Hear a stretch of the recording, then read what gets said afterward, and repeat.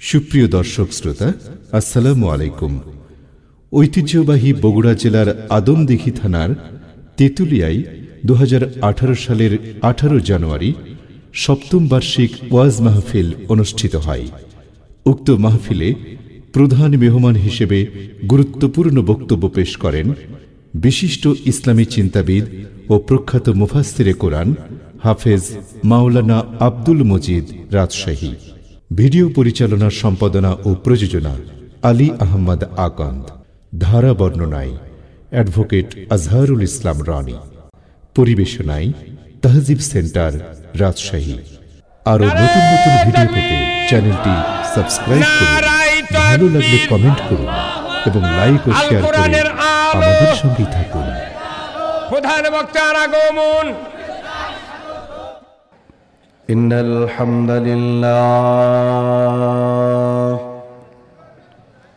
حمدا يليق بجلاله وكماله.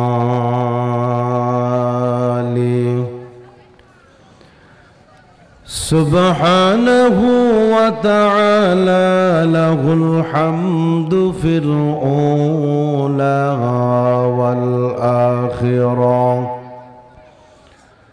وهو على كل شيء قدير. اللهم إنا نشهدك ونشهد ملائكتك وحملة عرشك وجميع خلقك أنك أنت الله. لا إله إلا أنت فهو الواحد الأحد الفرد الصمد. الذي لم يلد ولم يولد ولم يكن له كفوا أحد.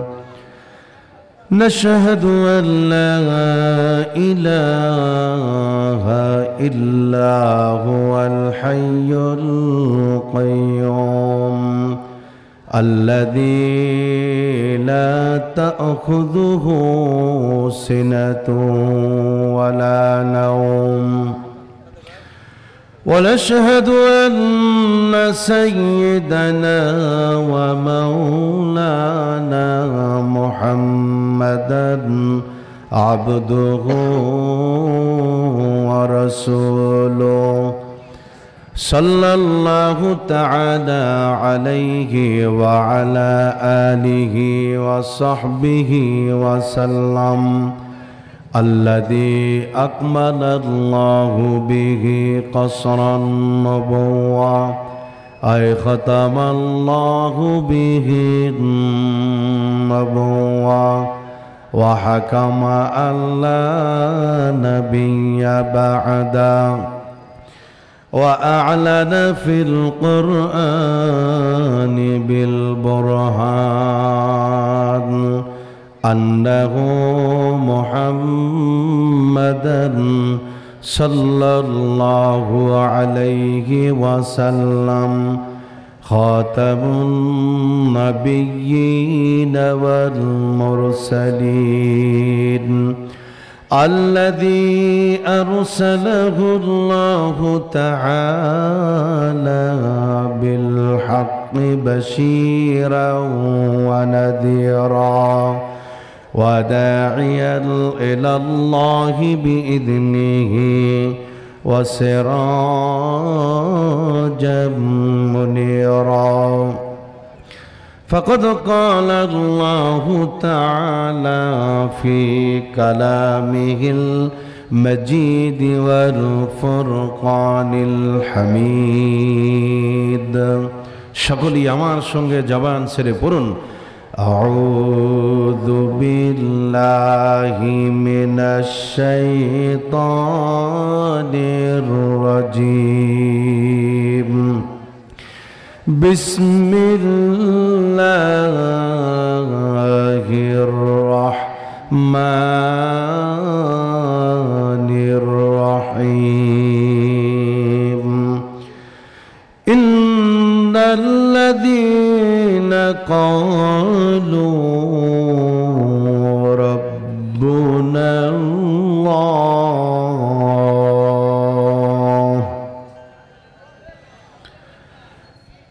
الذين قالوا ربنا الله ثم استقاموا تتنزل ثم استقاموا تتنزل عليهم الملائكة ألا تخافوا ولا تحزنوا.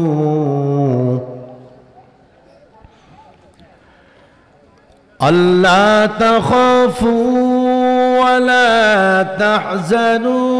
وأبشروا بالجنة التي كنتم توعدون.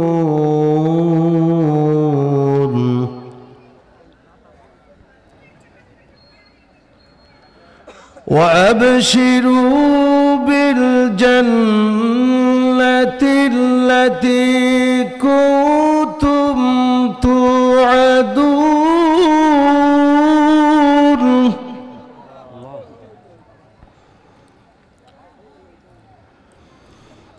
ألا تخافوا ولا تحزنوا وأبشروا بالجنة التي كنتم توعدون.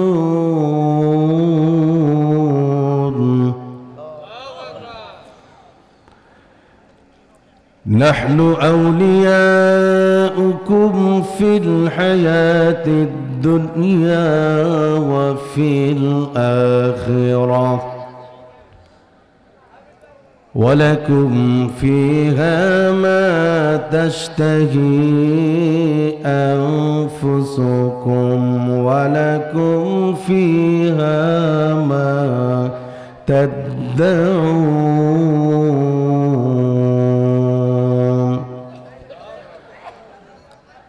نزلا من غفور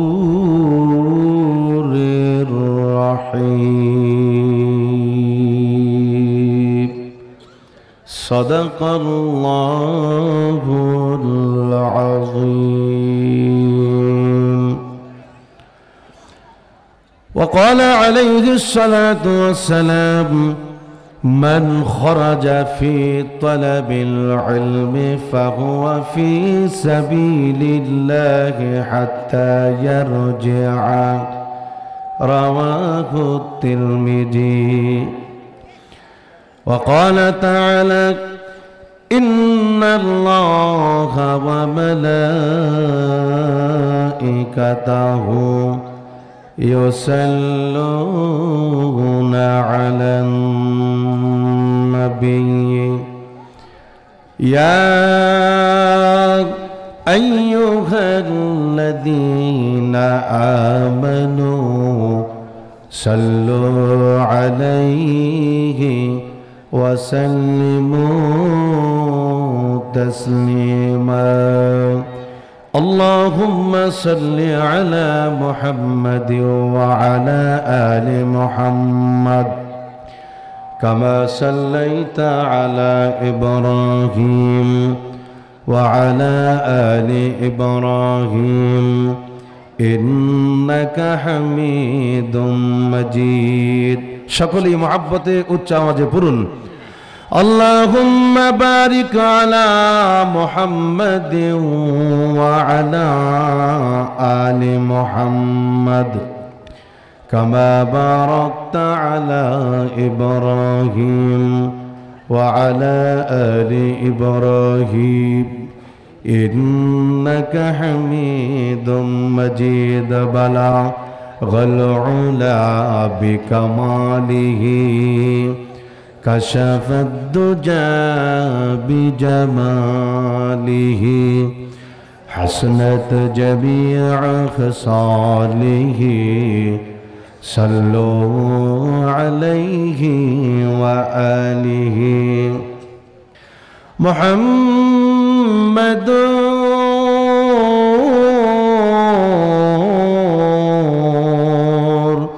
رسول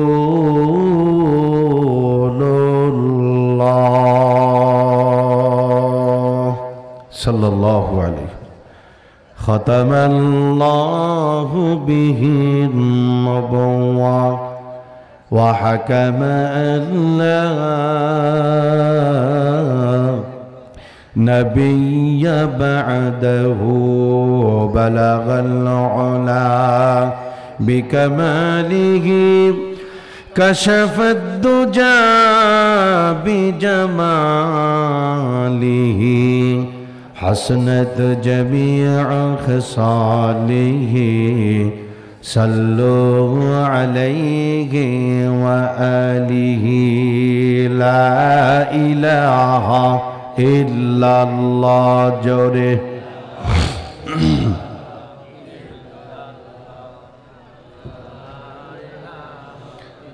আর একটু মহব্বতে উচ্চ আওয়াজে ইলাহা ইল্লাল্লাহ জোরে ইলাহা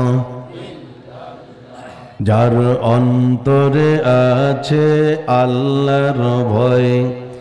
আল্লাহ আল্লাহ সব সময়, যার অন্তরে আছে আল্লাহর ভয়। আল্লাহ আল্লাহ সব সময়। এই দুনিয়া ভালো লাগে না, আহার নিদ্রা ভালো লাগে না, ভালো লাগে শুধু আল্লাহ জোরে ইলাহা ইল্লাল্লাহ। জোরে!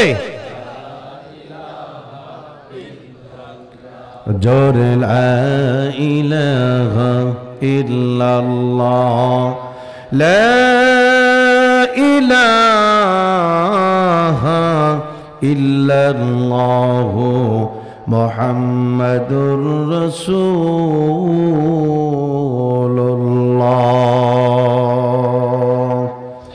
সাল্লাল্লাহু আলাইহি ওয়াসাল্লাম ঐতিহ্যবাহী বগুড়া জেলাধীন আদমদিঘি থানার অন্তর্গত তেতুলিয়া এলাকাবাসী কর্তৃক আয়োজিত আজকের এই ইসলামী জালসার সম্মানিত সুযোগ্য সভাপতি জনাব হাফেজ মোহাম্মদ মোবারক আলী আকন্দ, পেশ ইমাম তেতুলিয়া ঈদগাহ মাঠ। আজকের এই মাহফিলে উপস্থিত প্রধান অতিথি, বিশেষ অতিথিবৃন্দ, বিশেষ করে আজকের এই মাহফিলে উপস্থিত সর্বকালের, সর্বযুগের সকল আম্বিয়াদের আওলাদ, জাতির শ্রেষ্ঠ সন্তান, মুআজ্জাজ মকরম ওলামাইকরম মুরব্বেন ইজম, অরুণ তরুণ যুবক ভাইরা পর্দার আড়ালের অপেক্ষমান সম্মানিত মা ও বোনেরা, আমরা আল্লাহ তাআলার দরবারে লাখ কোটি শুকর আদায় করছি যে আল্লাহ তাআলা অত্যন্ত মেহরবানি করে আজকের এই ইসলামী জালসায় আল্লাহ তালা আমাদের বিভিন্ন দিক থেকে কোরআনুল কারিমের কথা, হাদিসের কথা শোনার জন্য দুনিয়ার উপরে জান্নাতের বাগানে আল্লাহ তাআলা আমাদেরকে বসার সুযোগটুকু দান করেছেন। আমরা সেই মহান আল্লাহ তালার দরবারে লাখ কোটি শুকর আদায় করছি, আমরা সকলেই মহাব্বতে উচ্চ আওয়াজে পড়ি, আলহামদুলিল্লাহ। আর একটু জোরে বলুন, আলহামদুলিল্লাহ। লক্ষ কোটি দুরদ সালাম সৃষ্টির প্রধান আকর্ষণ, বিশ্ব সভার সভাপতি, সমস্ত নবী রাসুলদের মাথার মুকুট, মোহাম্মদুর রসুল্লাহ সাল্লাহ আলী সাল্লামের উপরে সম্মানিত উপস্থিতি। আমরা যারা এখানে উপস্থিত হয়েছি কোরআনুল কারিমের আলোচনা শোনার জন্য। ঠিক না বেটি আর একটু আওয়াজ দেন। আমরা যারা এখানে এসেছি কোরআনের কথা, হাদিসের কথা শোনার জন্য। এটা কোনো দুনিয়ার কোনো রাজনৈতিক মঞ্চ নয়। এটি হচ্ছে কোরআনের মঞ্চ, হাদিসের মঞ্চ ওলামাই কেরামদের মঞ্চ, তাওহিদি জনতার মঞ্চ, ঠিক না ঠিক?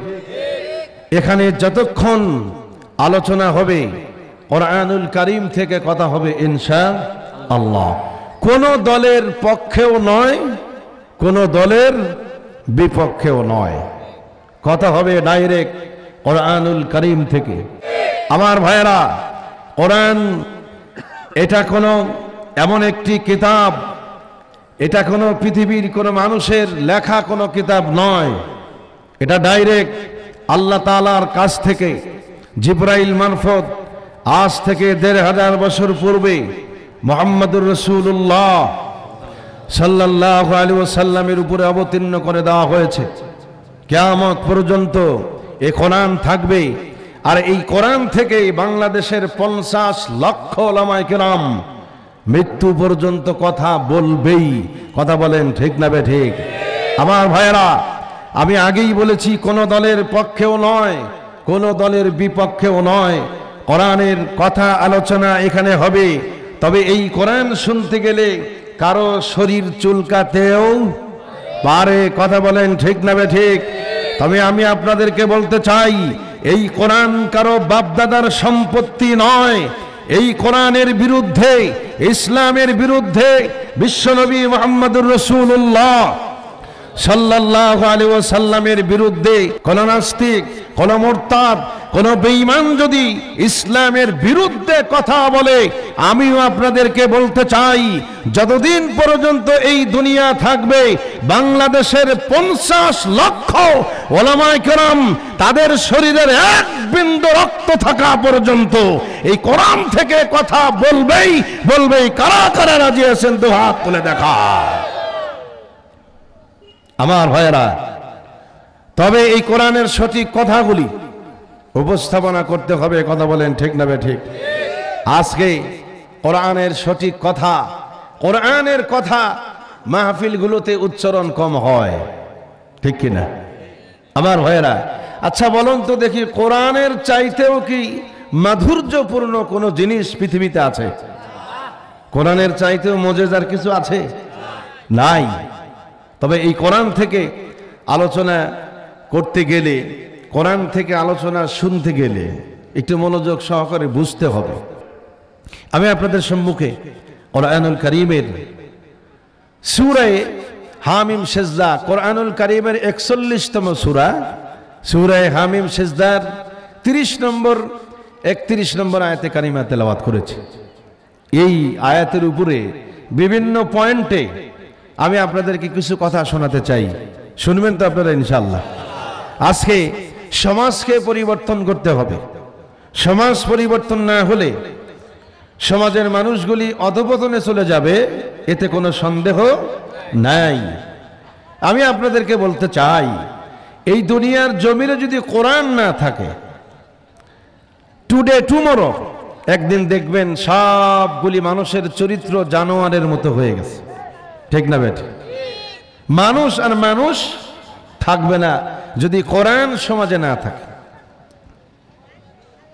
কোরআনের জ্ঞান যদি মানুষের না থাকে, তাহলে মানুষ আর মানুষ থাকবে না। কোরআনের জ্ঞানটা অত্যন্ত জরুরি, প্রয়োজন আজকের সমাজে। একটু মনোযোগ সহকারে বসুন, আমরা কোরআনের কথা শুনি, প্রত্যেকটি যদি এখলাসের সাথে কোরআনের কথা আমরা শুনি, প্রত্যেকটি নিঃশ্বাসের দশটি করে নেকি পাবেন, বোঝেন আর না বোঝেন। সুবাহান আল্লাহ কি বেহামদি। কোরআনের কথা যদি হয়, আপনার বোঝার দরকার নাই, মনোযোগ সহকারে আমার দিকে তাকিয়ে থাকুন, প্রত্যেকটি নিঃশ্বাসে দশটি করে নেকি পাবেন সুবাহান আল্লাহ আমার ভাইয়েরা, আমি যে আয়াতে কারিমা তেলাওয়াত করেছি এই তেলাওয়াতকৃত আয়াতের ভিতরে আল্লাহ কি বলেছেন? এ কথাটা আগে আমরা শুনে নেই। এরপরে তাফসির করা হবে ইনশা আল্লাহ সম্মানিত ভাইয়ের আমার, সুরে হামিম সেজদার তিরিশ নম্বর আয়তে কারিমার মধ্যে আল্লাহ তালা বলেন ইন্নাল্লাদিনা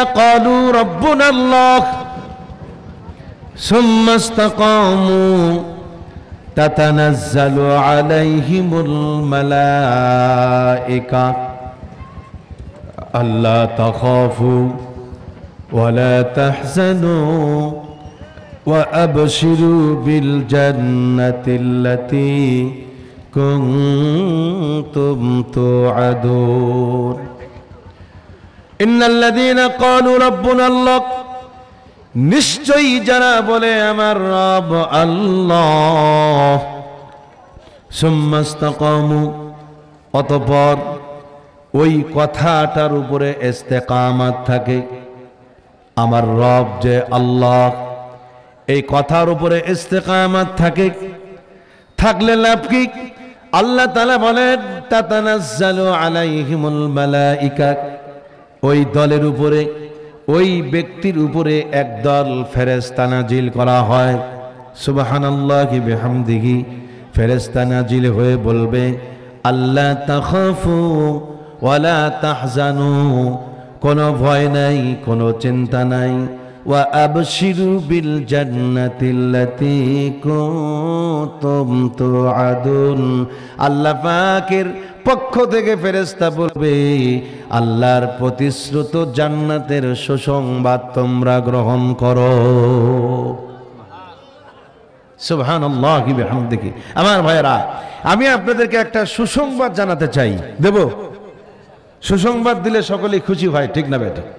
আপনাদের এই তেতুলিয়া সহ গোটা আদম আদম দিঘি এলাকার যতগুলি মানুষ আছে, মা বোনরা আছেন, ধলা হোক কালো হোক, গরিব হোক, ধনী হোক, পুরুষ হোক, মহিলা হোক, আর বৃদ্ধ হোক আর বাচ্চা হোক, সকলের মৃত্যুর সময় ফেরেস্তা কানের কাছে এসে বলবে, তোমরা মরলেই জান্নাতে যাইতে পারবা। না না আর একটা আসতে বলেন গুণা হবে সুহানাল্লাহ বললে।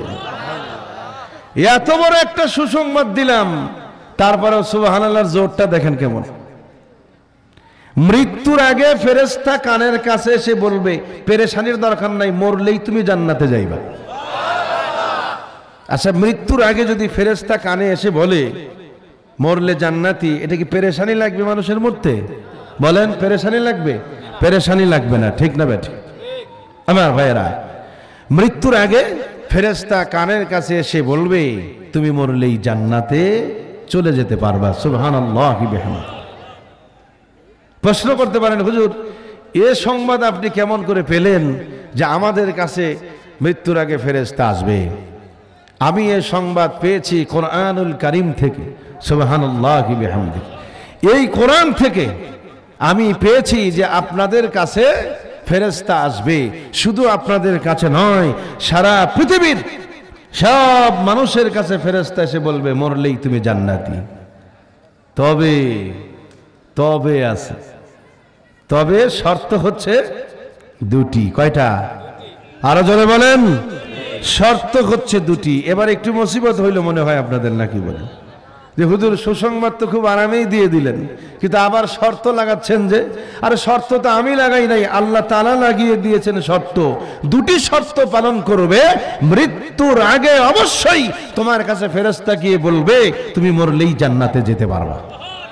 কয়টা শর্ত? দুটি শর্ত। বলব কি আমি দুটি শর্তগুলি গভীর মনোযোগ কান আমার দিকে খাড়া করেন।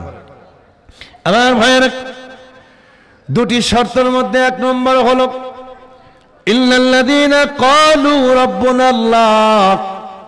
নিশ্চয়ই যারা বলবে আমার রব আল্লাহ। নিশ্চয়ই যারা বলবে আমার রব আল্লাহ। এবার আপনারা বলেন তো দেখি আমাদের রব কে। হয় নাই আরও জোরে বলেন, মুসলমানেরা তো আমাদের রব কে এক নম্বর শর্ত হয়ে গেল, আমাদের রব যে আল্লাহ।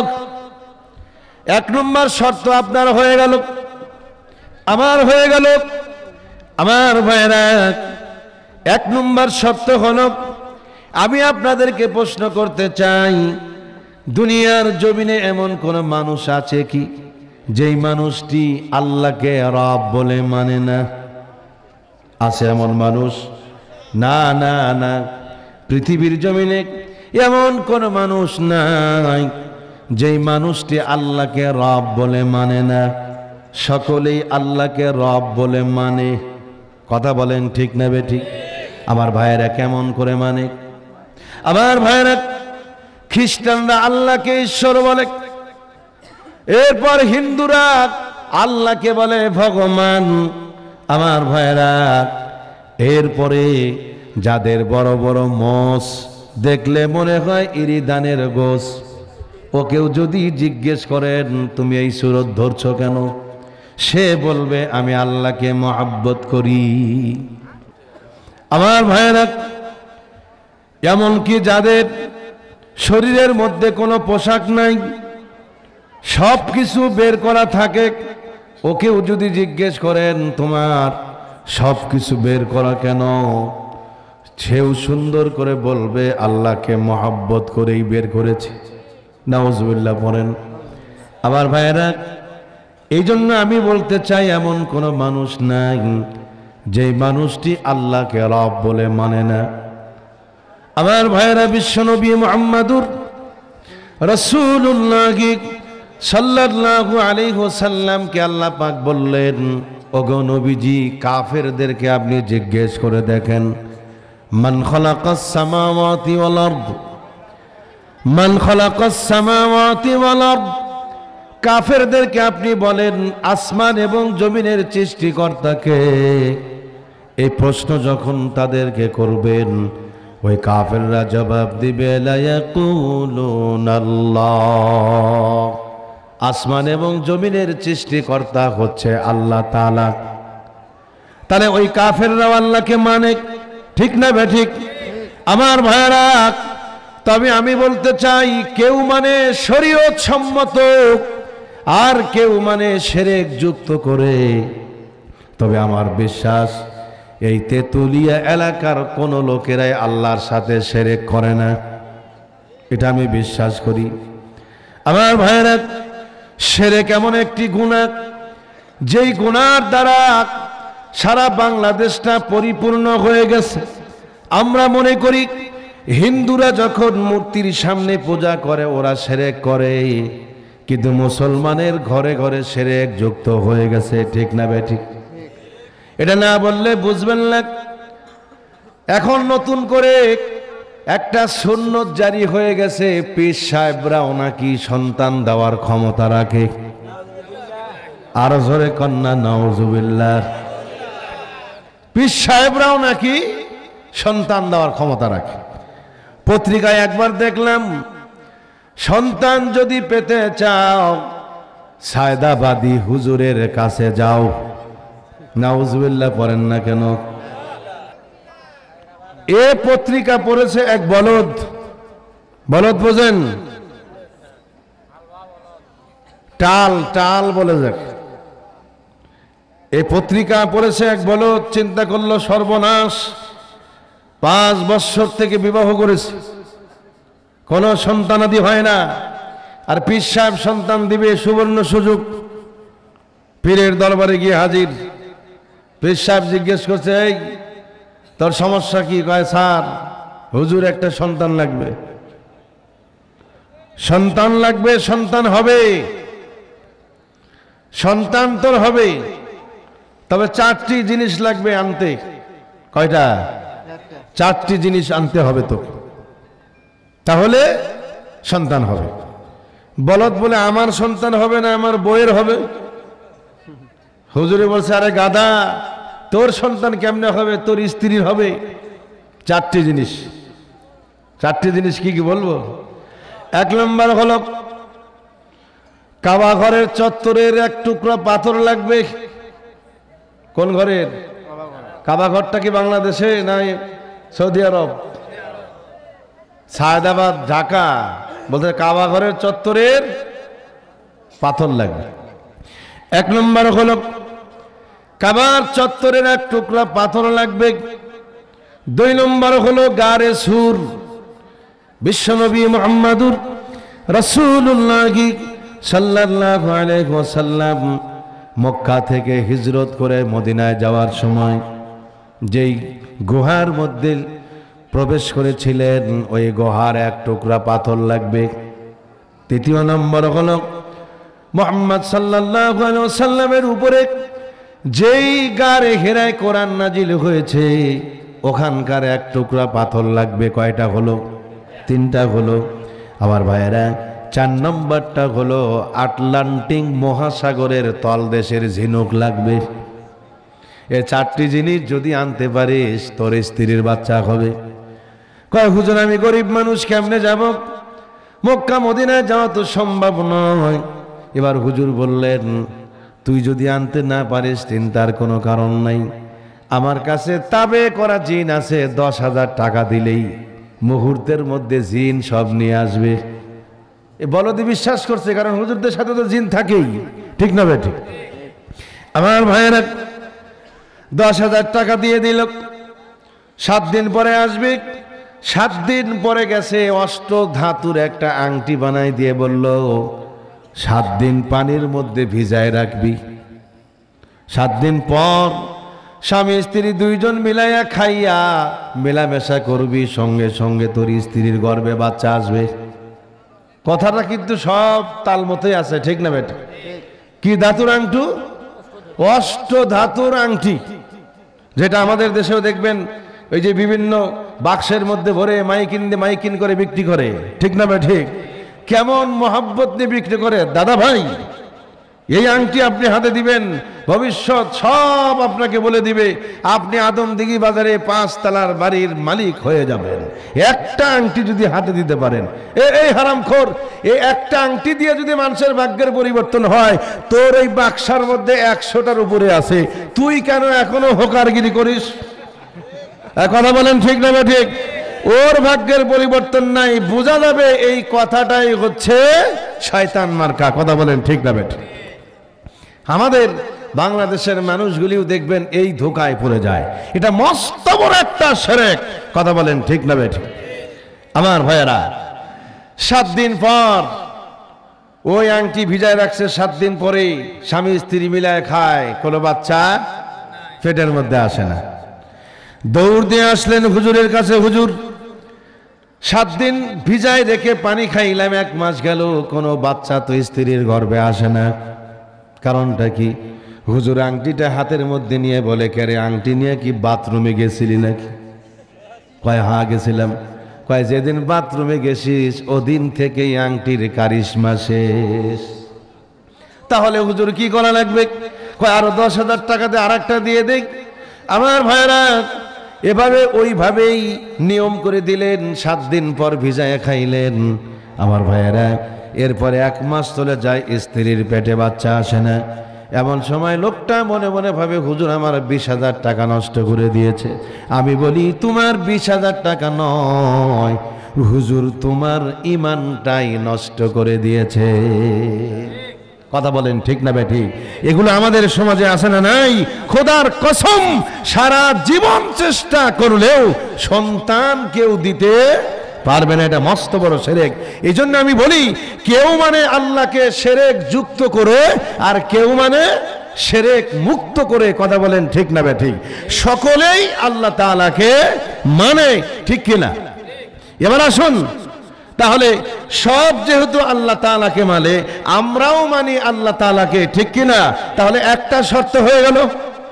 কথা বলেন না কেন, একটা শর্ত হলো। তা জান্নাত পাওয়ার শর্ত কয়টা? আগে বলেছিলাম, মনে নাই আপনাদের? জান্নাত পাওয়ার শর্ত হচ্ছে দুটি। তাহলে এক নম্বর হলো ক্বালু রব্বুনা আল্লাহ নিশ্চয়ই যারা বলে, আমার রব আল্লাহ। আমরাও বলি, আমার রব হচ্ছে আল্লাহ। এখন দুই নম্বর শর্ত, সুম্মাস্তাকামু।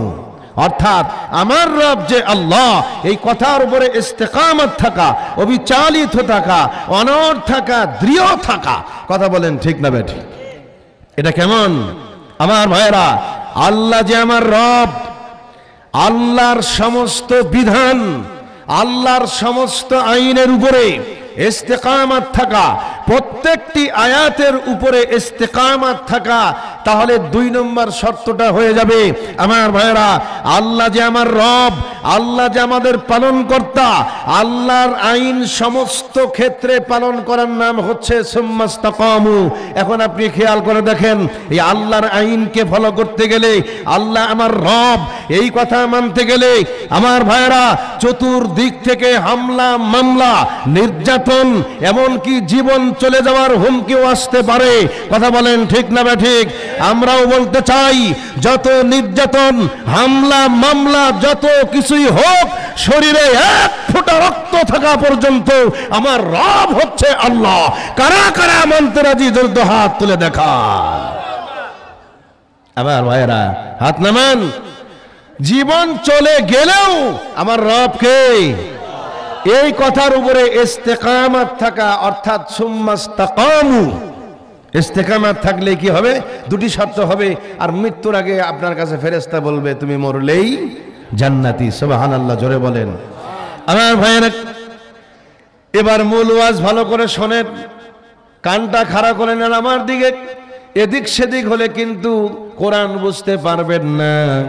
কোরআনকে তখন আপনার কাছে উল্টা পাল্টা মনে হবে। আমার ভাইয়েরা এবার আপনি ভালো করে খেয়াল করেন। একটা শর্ত আমাদের হলো, আমার রব যে আল্লাহ, এই কথা আমরা মানি। তবে প্রত্যেকটি ক্ষেত্রে আল্লাহর বিধানকে মানতে হবে। তাহলে সোম্মাস তাকমর মধ্যে থাকা যাবে। আবার ভাইয়েরা তাহলে এবার প্রথম দিকটা আমি শুরু করে দেই। আপনারা বলেন তো দেখি, আজকে এই মাহফিলের ময়দানে এশার নামাজ হয়েছে না হয় নাই? ঈশান নামাজটা হয়েছে তাহলে নামাজ আপনি পড়েছেন হয়তো। আল্লাহকে রব বলেই নামাজ পড়ি। আজকেও যারা নামাজ পড়েছে, আল্লাহকে রব বলে মেনেই তো পড়েছি। এবার আপনি নামাজের পর দোকানের মধ্যে যাবেন। দোকানের ভিতরেও আমার আল্লাহ আছে না নাই? দোকানের ক্ষেত্রেও আমার আল্লাহর বিধান আছে। ওই বিধানের উপরে ইস্তেকামাত থাকা লাগবে। এর মানে হচ্ছে নামাজ আপনি পড়লেন, একটা শর্ত মানলেন, দোকানের মধ্যে গিয়ে দোকান খুললেন, দুইজন খরিদ্দার চলে আসলো।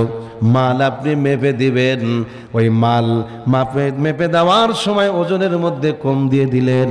আল্লাহ পাক বললেন, নামাজ তুমি পড়েছ, একটা শর্ত তোমার হলো, কিন্তু দোকানের মধ্যে যাইয়া ওজনের মধ্যে কম দিয়ে দিলে। ওদের সম্পর্কে আমার আল্লাহ তালা কোরআনে বলেন, ওয়াইলুল মুতাফফিফিন। ওদের জন্য দুর্ভোগ, ওরা ধ্বংস হোক, যারা ওজনের মধ্যে কম দেয় তাৎফি করে। ওয়াইলুল্লিল মুতাফফিফিন। নামাজ আপনি পড়লেন, কিন্তু দোকানের মধ্যে যাইয়া আয়াতকে লঙ্ঘন করে ফেললেন, ওজনের মধ্যে কম দিয়ে দিলেন। আল্লাহ পাক বলে, বান্দারে, নামাজ পড়ে একটা শর্ত তুমি মেনেছ, কিন্তু দোকানের মধ্যে যাইয়া ওজনের মধ্যে কম দিয়ে দিলে। এইখানে আমার আয়াতের উপরে ইস্তেকামাত থাকতে পারো নাই, তোমার জন্য জান্নাত হতে পারে না। দুটি শর্ত তোমার হয় নাই, কথা বলেন ঠিক না বেঠিক। আমার ভাইয়েরা, এই আয়াতটা এমন একটি আয়াত বাংলাদেশের প্রধানমন্ত্রী থেকে শুরু করে একেবারে নিম্ন শ্রেণির নেতা পর্যন্ত আয়াতের অন্তর্ভুক্ত। ওজন দেওয়ার মানে কি খালি দাড়ি পাল্লায় মেপে দেওয়ার নাম ওজন বাংলাদেশের একটা আইন আছে, সকাল নয়টা থেকে পাঁচটা পর্যন্ত অফিস করবেন। সরকার আপনাকে কিছু বেতন দিবে, ঠিক না ঠিক? আমার ভাইয়েরা নয়টা থেকে পাঁচটা পর্যন্ত চাকরি করা লাগবে। এখানে যদি আপনি এক মিনিট কম দেন, সময় নষ্ট করেন, তাহলে সরকারকেও আপনি ওজনে কম দিয়ে দিলেন। আপনার জন্য দুর্ভোগ। আপনারা মানুষকে কাজে নেন, ঠিক না বেঠিক এই যে নয়টা থেকে চারটা পর্যন্ত কাজ করলে পাঁচশো টাকা হাদিয়া পাবে। এবার কোনো লোক যদি কোনো মনিবকে এক মিনিট ফাঁকি দেয়, তাহলে সেও কিন্তু এই আয়াতের অন্তর্ভুক্ত, সে ওজনে কম দিয়ে দিল। শুধু আপনাদের কথাই না, এবার আমাদের কথাও একটু বলি। কোন মসজিদের ইমাম সাহেব পাঁচ সপ্ত নামাজ পড়াবে, এক মাস গেলে দশ হাজার টাকা বেতন পাবে। আমার ভাইয়েরা, ওই ইমাম সাহেব যদি কমিটিকে ফাঁকি দিয়ে একটা অক্ত নামাজ না পড়ায়, তাহলে ওই ইমামটাও ওজনে কম দিয়ে দিল। এবার একটু খুশি হয়েছেন যে না, হুজুররাও জড়িত আছে এর ভিতরে। কথা বলেন ঠিক না ভাই, ঠিক। এটা এমন একটি আয়াত, শুধু হুজুর না, সারা পৃথিবীর সব মানুষগুলি এই আয়াতের অন্তর্ভুক্ত। আমাদের মধ্যে এই ভেজাল আছে না নাই? তাহলে আপনি নামাজ পড়ে কি করবেন? দুটি শর্ত হবে না। কশ্চিন কালেও ফেরেস্তা আপনার কাছে আসবেও না মৃত্যুর আগে। কথা কি বুঝতে পেরেছেন? এই এইগুলো এক, মনে রাখবেন পয়েন্টগুলি তাহলে এই ভেজাল যার মধ্যে আছে, আল্লাহ পাক সকলকে এই ভেজাল থেকে মুক্ত থাকার তৌফিক দান করেন। আমরা সকলেই বলি আল্লাহ আমিন। এই গেল এক। দ্বিতীয় নম্বর হলো, গভীর মনোযোগ দিয়ে শোনেন। নামাজ আপনি পড়লেন, নামাজের পর বাংলাদেশে এমন কোন মানুষ আছে দেখবেন মদ খায়। মদ খাওয়া হালাল না হারাম? আর ওজনে কোন হালাল না হারাম? তবে তেতুলি এলাকায় মনে হয় জায়েজ। মদ খাওয়া এই এলাকায় জায়েজ। তাহলে কথা কন না কেন, হালাল না হারাম? হারাম। মদ কেন হারাম? খুব মনোযোগ। যে ওয়াজগুলি আপনারা শোনেন না আমি অন্য পয়েন্টে ওয়াজ করছি আমি। আমার ভাইয়েরা, মদটা আল্লাহ কেন হারাম করেছেন খেয়াল করেন। মদ হলো সমস্ত গুনাহের উৎস। সমস্ত গুনাহের মা বলা হয় মদকে। আমার ভাইরা কেন? অত্যন্ত গভীর মনোযোগ। এক এলাকায় এক বেশ্যা মহিলা ছিল, আর ওই এলাকায় ছিল একজন আল্লাহর অলি একই এলাকায় একজন বেশ্যা মহিলা, ওই এলাকায় একজন আল্লাহর অলি বেশ্যা মহিলার চিন্তা হলো যে এলাকায় বেশ্যা মহিলা থাকবে। ওই এলাকায় কোনো ইমানদার লোক থাকতে পারবে না। নাউজুবিল্লাহ, পড়েন।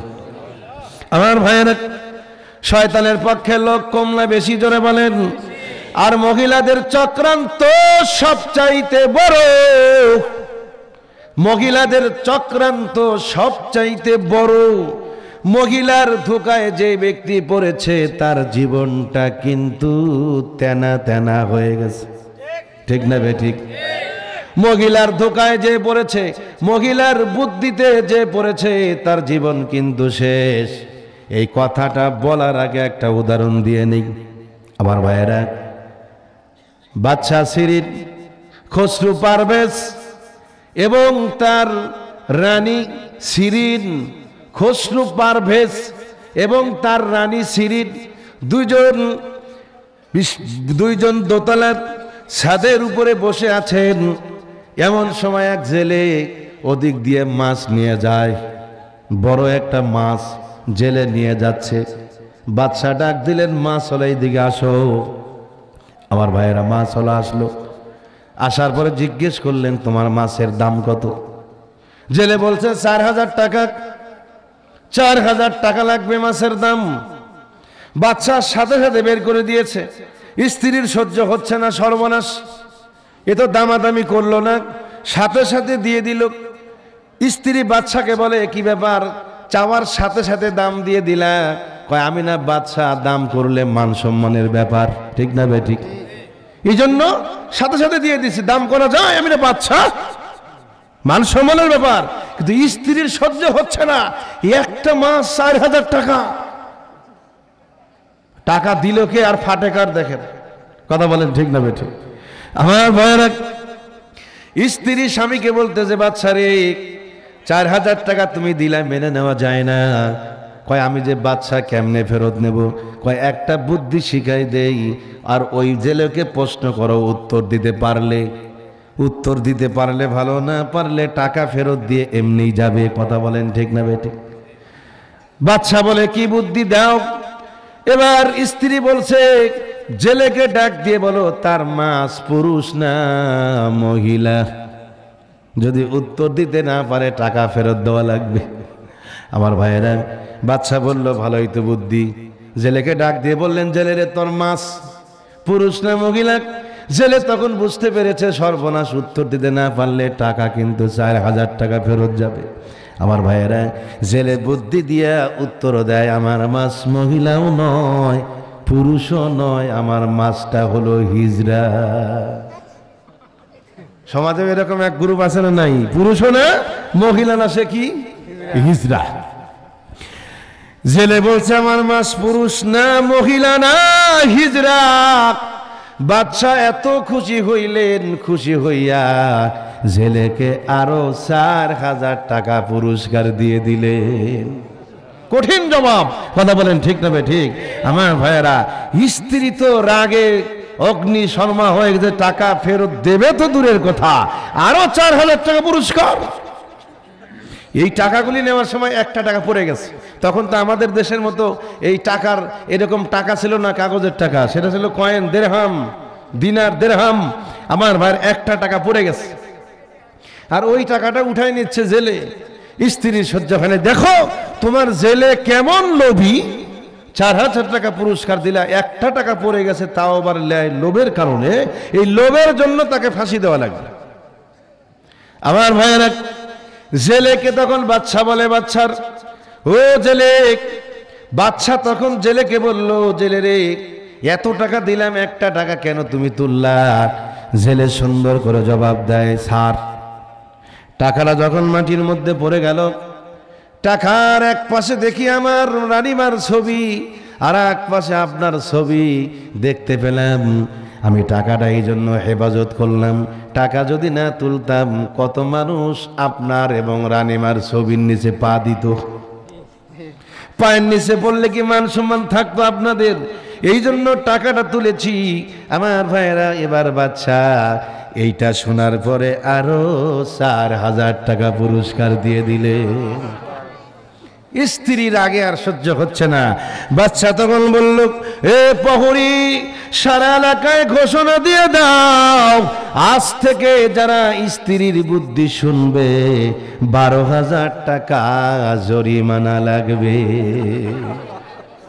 কারণ ওদের ধোকায় একবার যারা পড়েছে, তাদের জীবন কিন্তু আগেই বলেছি, তেনা তেনা, কথা বলেন ঠিক না বেটা আমার ভাইয়েরা, তো ওই বেশ্যা মহিলা চিন্তা করল যে এলাকায় আমি থাকব, ওই এলাকায় ইমানদার থাকতে পারবে না। আমার ভাইয়েরা মহিলা একটা চক্রান্ত করল। চক্রান্তটা কি? তাফসিরে নুরুল কোরআনের মধ্যে এসেছে ঘটনাটা। আমার ভাইয়েরা, আমি নিজে পড়েছি। এবার ওই মহিলা চিন্তা করল, ওই হুজুরকে কীভাবে আমার আমার অন্দর মহলে আনা যায়?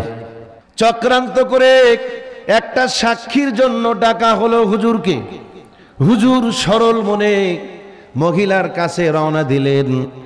বিশাল বড় অট্টালিকা, অনেকগুলি গেট, মহিলাও ধনাট্য সুন্দরী মহিলা। আমার ভাইয়েরা, হুজুর, সরল মনে হুজুর ওই মহিলার দিকে রওনা দিলেন। তাপসিরের কিতাবের মধ্যে লেখে, একটা একটা করে দরজা পাড়ি দেয়, আর দরজা পিছন দিক থেকে বন্ধ হয়ে যায়। জুলেখার দরজার মতো পিছন দিক দিয়ে বন্ধ হয়ে যায়। মোটামুটি কয়েকটি দরজা পাড়ি দিয়ে যখন হুজুর অন্দর মহলে ঢুকলেন, এবার মূল ফটকটা আটকে দেওয়া হলো। হুজুর ঘরের মধ্যে গিয়ে দেখে, ওই বেশ্যা মহিলা সুন্দরী, নর্তকী, সাদা কাপড়, পাতলা পা কাপড় পরিধান করে একেবারে আকর্ষণীয় হয়ে সেজে গুজে ঘরের মধ্যে আছে। পাশেই ছিল একটা ছোট্ট বাচ্চা। নাবালক একটি শিশু বাচ্চাকে রেখেছে মহিলা। এরপর টেবিলের উপরে এক বোতল মদ রাখা হয়েছে। আমার ভাইরে তিনটা জিনিস হুজুর ঘরের মধ্যে গেলেন, যাওয়ার পরে এবার ওই মহিলা বলছে, হুজুর গো, কোনো সাক্ষীর জন্য নয়, আপনার ইমানকে নষ্ট করে দেওয়ার জন্য ডেকেছি। জোরে কন্যা উজুবিল্লা আমার ভাইয়েরা, হুজুর বের হওয়ার চেষ্টা করলেন। এবার ওই মহিলা বলতেছে, হুজুর কশ্চিন কালেও বের হতে পারবেন না। বের হওয়ার কোনো রাস্তা নাই। তবে তিনটা উপায় আছে বের হওয়ার জন্য। জোরে কোন কয়টা? তিনটি অপশন আপনার সামনে আছে। এই তিনটির একটা গ্রহণ যদি করেন, তাহলে বের হতে পারবেন। হুজুর বললেন, কি অপশন? আমার ভাইয়েরা, তাফসিরের কিতাবের মধ্যে লেখে, মহিলা এবার সুন্দর করে বলতেছে, ওই যে টেবিলের উপরে এক বোতল মদ রাখা আছে। ওই মদটা যদি পান করতে পারেন, তাহলে আপনি বের হতে পারবেন। আমার ভাইয়েরা, মহিলা বলল, ওটা যদি ভালো না লাগে, দুই নম্বর অপশন হলো, ছোট্ট বাচ্চাটাকে হত্যা করা লাগবে। ওটাও যদি পছন্দ না হয়, আমার সাথে রাত্রি যাপন করা লাগবে। আর জোরে এখন নাউজুবিল্লাহ।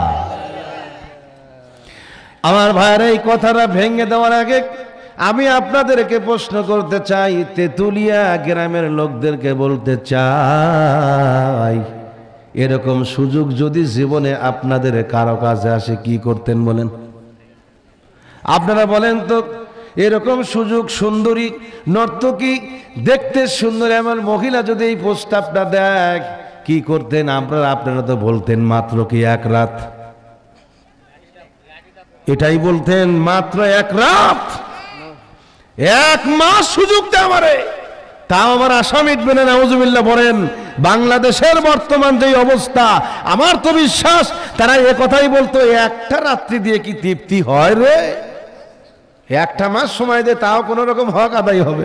নাউজুবিল্লাহ ধরে বলেন, এটা বর্তমান সময়ের অবস্থার কথা বলছি, ঠিক না বেঠ আমার ভাইয়েরা, হুজুর তো আল্লাহওয়ালা মানুষ উনি তখন মনে মনে ভাবলেন, ছোট্ট বাচ্চাকে হত্যা করা সম্ভব নয়। কারণ বিশ্ব নবী মোহাম্মদুর রসুল্লাহি সাল্লাহ আলী ওয়াসাল্লাম সাহাবাই কিরামদেরকে বলেছেন, যুদ্ধে যাবা, যাও। তবে ছোট্ট বাচ্চাদের গায়ে হাত দিবা না। এরপরে মহিলাদের গায়ে হাত দিবা না। সুবহানাল্লাহ, জোরে বলেন। আমার ভাইয়েরা, বিশ্বনবী যুদ্ধে যাওয়ার আগে প্রত্যেক সাহাবিকে বলতেন, ছোট বাচ্চাদের গায়ে হাত দিবা না। হুজুর ওই কথা স্মরণ করে মনে মনে ভাবলেন, ছোট্ট বাচ্চাকে হত্যা করা সম্ভব নয়। কারণ খুনি হইয়া কেয়ামতের আদালতে দাঁড়াতে চাই না। সুবাহান আল্লাহ জোরে বলেন। আমার ভাইয়েরা এরপরে মনে মনে ভাবলেন ওই মহিলার সাথে রাত্রি যাপন করা সম্ভব নয়। ওটা তো জিনার গুণা হবে। আর জিনার গুনার শাস্তি হচ্ছে রাজম করে দেওয়া। অর্ধেক জমিনের মধ্যে বুক পর্যন্ত পুঁতে পাথর মেরে মেরে সঙ্গ সার করে দেওয়া। আমার জিনার গুণা লাগবে, শরীরের মধ্যে দাগ লাগবে, কথা বলেন ঠিক না বেটি? আমার ভাইয়েরা, একটা প্রশ্ন করতে চাই, তা হলো, কেউ যদি এই তেঁতুলিয়া গ্রামের, কেউ যদি পায়খানা করার সময় বাথরুমের ওই ট্যাঙ্কির মধ্যে পড়ে যায়। এরপরে ট্যাঙ্কির মধ্যে যা থাকে তা যদি শরীরের মধ্যে লাগে, বলেন তো দেখি, এরপর গোসল করলে বাসনা সাবান দিয়ে, এরপর সেট মাখলে কি ওই গন্ধটা থাকবে? কথা বলেন না, থাকবে নাকি? থাকবে না, কিন্তু জিনা এমন একটা গুণা ও আমার বাবাজিরা, ভালো করে শুনে নেন। যুবক ভাইরা ভালো করে শুনে নাও। জিনা করার পর যদি কেয়ামত পর্যন্ত পদ্মা বেগনা যমুনা নয়, আটলান্টিক মহাসাগরের মধ্যে যদি ডুবে থাকেন, খোদার কসম করে বলি, এই জিনার গোনার দাগ মুছবে না। হুজুর মনে মনে ভাবলেন, জিনা করা সম্ভব নয়। ওই দুইটি গুণার চাইতে মদ খাওয়াটা একটু কম গুণা হবে। বাহ্যিক দৃষ্টিতে তাই দেখা যায়, ঠিক না ঠিক? ওই দুই গুণার চাইতে, হত্যা করার চাইতে আর জিনা করার চাইতে মদ খাওয়াটা একটু কম গুণা হবে। হুজুর তখন টেবিলের কাছে আগিয়ে গেলেন। এগিয়ে যাওয়ার পর মদের বোতলটা হাতে নিয়ে মদ পান করলেন, নাউজুবিল্লাহ পড়েন। আর মদ খাওয়া যে হারাম, এর প্রমাণ দেখেন, মদ খাইলে মস্তিষ্ক ঠিক থাকে কি থাকে না যখন মস্তিষ্ক ঠিক থাকে না। পত্রিকায় দেখলাম একজন মদ খাইয়া রাস্তার সাথে ঘাড় দিয়া গাছ, গাছের সাথে গাড় বাদায় দিয়ে ঠেলতেছে সরাই ফেলব গাছ। মস্তিষ্ক ঠিক নাই। মাতাল হয়ে গেছে, মস্তিষ্ক ঠিক নাই, মদ এই জন্য হারাম। আমার ভাইয়েরা, হুজুর এবার মদ খাইলেন খাওয়ার পর, কিছুক্ষণ পরে মস্তিষ্ক আর ঠিক নাই। এই মস্তিষ্ক ঠিক না থাকার জন্য মাতাল অবস্থায় ওই ছোট্ট বাচ্চাকে হত্যা করে ফেলেছে। আবার রাত্রি বেলায় ওই মহিলার সাথে ও রাত্রি যাপন করেছে। এই জন্য বলছিলাম, মদ হলো সমস্ত গুনাহের মা আল্লাহ তালা মদকে হারাম করে দিলেন। আমার ভাইয়েরা সাহাবাই কেরাম কোনো মদ খেয়েছেন? আল্লাহর রাসূল সাল্লাল্লাহু আলী সাল্লামের কাছে যখন খবরটা আসলো, আমার ভাইয়েরা সাহাবাইকেরা মদ খেয়েছে। সুরা কাফিরুনের তাফসির বলে দেখবেন, সাহাবিরাও মদ পান করেছে। কয়েকজন সাহাবি মদ খাইয়া মাগরিবের নামাজের মধ্যে দাঁড়ায় গেছে। দাঁড়িয়ে যাওয়ার পর সুরা ফাতিহা তেলাওয়াত করার পরে সুরা কাফিরুন পড়তেছে। কোন সুরা? বলিয়া আইয়ুহাল কাফিরুন। পড়েন একটু আমার সাথে। বলিয়া আইয়ুহাল কাফিরুন। বলিয়া আইয়ুহাল কাফিরুন। আ'বুদু মা তা'বুদুন। বাদ গেল কি জোরে কন? লা গেল না গেল না। মদ খাইছে স্বাভাবিক, মস্তিষ্ক ঠিক নাই, তাই শুধু বারবার পরে আবুদুমা তাবুদুন আবুদুমা তাবুদুন আবুদুমা তাবুদুন মাথা ঠিক নাই। আবুদুমা তাবুদুন। একজন সাহাবি পিছন থেকে বলে কেরে খালি কি আবুদু আর তাবুদুন পড়বি? কিয়ামত পর্যন্ত তো নামাজ শেষ হবে না। ঠিক না বে ঠিক? আমার ভাইয়েরা, হঠাৎ করে মস্তিষ্ক ঠিক হলে নামাজটা শেষ হয়ে গেল। কেউ বলেছেন, আল্লাহ রাসুল সাল্লাহ সাল্লামের দরবারের কথা। কেউ বলেন, ওমর রাদি আল্লাহ তালানহুর দরবারের কথা। যাই হোক যার কাছে হোক না কেন, খবরটা যখন চলে গেল নবীজির দরবারে, আমার ভাইয়েরা, এইভাবে নবীজি পেরেশান হয়ে গেলেন। এমন সময় আমার আল্লাহ তাআলা কোরআন শরীফের আয়াত নাজিল করে দিলেন। জোরে কন্যা, আল্লাহ আকবার। আল্লাহ আয়াত নাজিল করলেন, ও জিব্রাইল, যাক, আমার নবীজির কাছে আয়াত নাজিল করে দাও। ইয়া আইয়ুহাল্লাযীনা আমানু, লা তাকরাবুস সালাতা। জোরে কন্যা, আল্লাহু আকবার। আল্লাহ পাক আয়াত নাজিল করে জানাই দিলেন, হে ইমানদারেরা নামাজের নিকটবর্তী হবা না। কি বললেন? ও ইমানদারেরা, নামাজের নিকটবর্তী হবা না। এতটুক পড়লে অর্থ তো সত্য, কথা বলেন ঠিক নামে ঠিক? এই আয়াতের ব্যাখ্যা আমাদের দেশের বেনামাজি ভণ্ডের বাচ্চা ভণ্ডরা দিয়ে থাকে। তোমাদের আল্লাহ বলেছে, নামাজের ধারে কাছে যাওয়া যাবে। না, নাউজবিল্লাহ, পড়েন। অর্থ যদি সনাতাক এই পর্যন্ত পড়লে অর্থ এটাই হয়, নামাজের ধারে কাছে যাওয়া যাবে না। কিন্তু আমার আল্লাহ কেন নিষেধ করলেন? ওই ভণ্ডের বাচ্চারা বলে না, ওয়া আনতুম সুকারা। মাতার অবস্থায় নামাজের ধারে কাছে যাওয়া যাবে না। সুবহানাল্লাহ, জোরে বলেন। আয়াত নাজিল হইল, মদ কি হারাম হইল বলেন? না না, হারাম হয় নাই। এখনও তো হারাম হয় নাই। আল্লাহ শুধু বলছে, মদ খাইয়া নামাজের ধারে কাছে যাবি না। সাহাবাই কারাম ফজরের নামাজ পইরা মদ খায়, কারণ জহন নামাজ অনেক পড়ে। ঠিক না ঠিক? আমার ভাইরা আরও একটা ঘটনা আছে। এই এই আল্লাহ রাসূল মদিনায় চলে গেলেন। মদিনার কিছু সাহাবি মদ খাইয়া মারামারি শুরু করছে। তাফসিরের কথা, মদ খাইয়া মারামারি শুরু করে দিয়েছেন। আমার ভাইয়েরা, সাদ বিন আবি আক্কাস রাদিয়াল্লাহু তাআলা আনহুকে এক সাহাবী উটের হাড় দিয়ে শরীরে আঘাত করেছে। আঘাত করলে রক্তাক্ত যখন হয়ে গেল, নবীজির দরবারে খবর গেছে।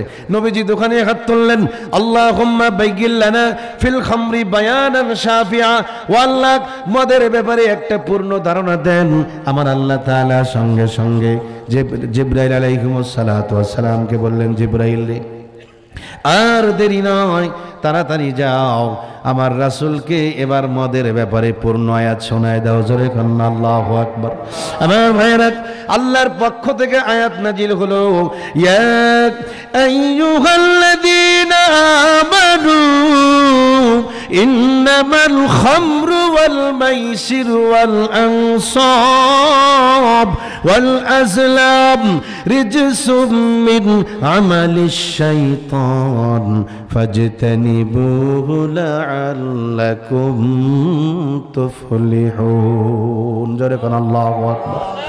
আমার ভাইয়েরা, আল্লাহ তালা আয়াত নাজিল করলেন, হে ইমানদারেরা আজ থেকে তোমাদের জন্য মদ, জুয়া, লটারি, প্রতিমা আমি আল্লাহ সব হারাম করে দিলাম।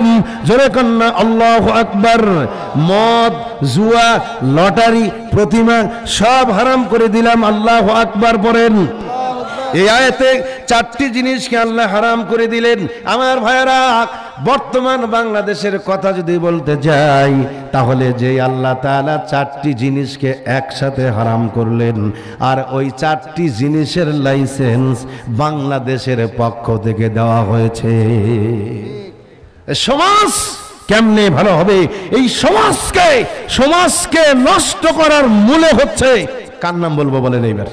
বললেই তো বলবেন, হুজুর, রাজনীতির ওয়াজ করবেন না তো আগেই বলেছেন। কথা বলেন ঠিক না ঠিক? লাইসেন্স কারা দিয়েছে? আমার ভাইরা, এই সমাজকে নষ্ট করার মূলে হচ্ছে আমাদের দেশে উপর লেভেলে যারা আছে। কথা বলেন না কেন? সমাজের লাইসেন্স, মদের লাইসেন্স, কোন মসজিদের ইমাম সাহেব দিয়েছেন? একজন দাঁড়িয়ে বলেন, খোদার কসম আর ওয়াজ করব না। বলেন, মদের লাইসেন্স কোন মসজিদের ইমাম সাহেব দিয়েছে? বাইতুল মকররমের মসজিদের ইমাম? সৌদি আরবের ইমাম? আমার ভাইয়েরা লাইসেন্স দিয়েছে, যারা মদ খায় বাংলাদেশে, তারা দিয়েছে। সমাজকে ভালো করতে গেলে আমরা চিল্লাই আওয়াজ করে আমাদের লাভটা কি? লাইসেন্স দেওয়া হয়েছে বেশ্যাগিরির লাইসেন্স জুয়ার লাইসেন্স লটারির লাইসেন্স কে দিয়েছে? আমার ভাইয়েরা, লটারি পঁচিশ লক্ষ টাকা পুরস্কার। বাপের বাড়ির আবদার পাইছো? দশ টাকা দিয়ে পঁচিশ লক্ষ, বাপের বাড়ির আবদার? এই জন্য হারাম। কথা বলেন ঠিক না ঠিক আমাদের রাজশাহীতে দেখবেন, আমার ভাইয়েরা, রাজশাহীতে বিভিন্ন সময়ে বাণিজ্য মেলা, এরপরে বৈশাখী মেলা, এরপরে উন্নয়ন মেলা। যত মেলা, তত লটারি। কথা বলেন ঠিক না বেঠিক? লটারির আবার সাইজ কি? আমাদের রাজশাহীতে মাঝে মধ্যে মেলা হয় বাস স্ট্যান্ডে বিভিন্ন জায়গায় দেখা গেছে, লটারি প্রত্যেক দিন সকাল আটটা থেকে শুরু করে রাত্রি দশটা পর্যন্ত বিশ, পঁচিশটা মাইক নিয়ে ওই যে একটা ডাম রিক্সার পিছনে বসায়া লটারির মাইকিং করা হয়, মামা, মাঠাই নষ্ট মামা। আজকের পুরস্কার একশো সিসি হোন্ডা কথা বলেন ঠিক না ঠিক? এই লটারি আবার কারা কিনে জানেন? এই লটারি কিনে সারা দিন রক্ত ঘমায়া পরিশ্রম করে রিক্সা চালায়া পাঁচশো টাকা রোজগার করেছে।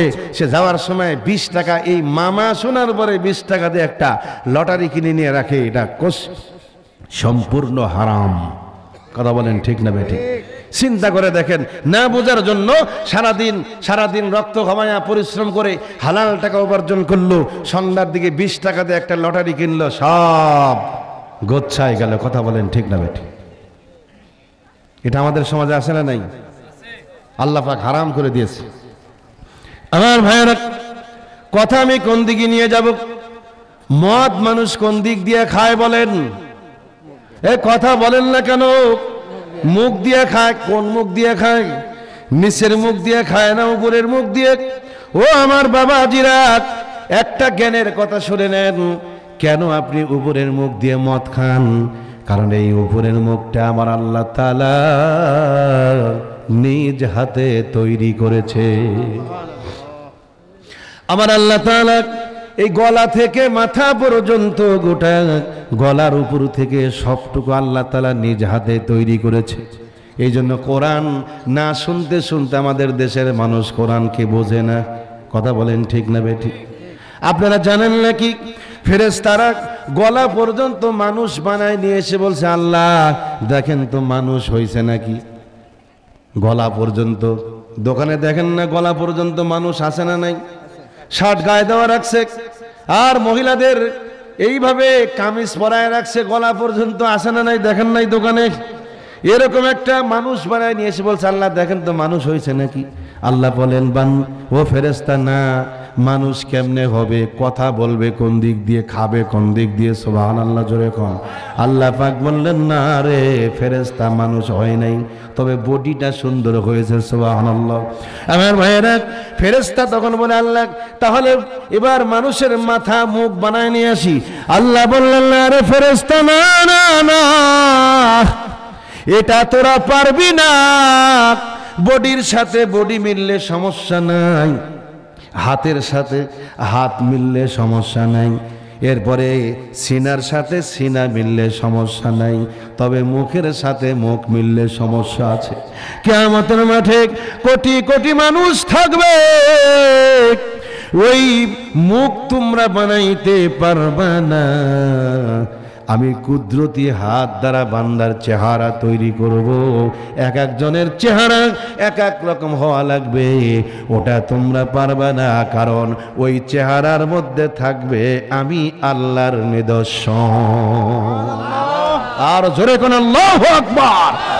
কারণ ওই চেহারার মধ্যে একটা কপাল থাকবে। ওই কপাল দিয়ে বান্দা আমি আল্লাহকে সেজদা করবে।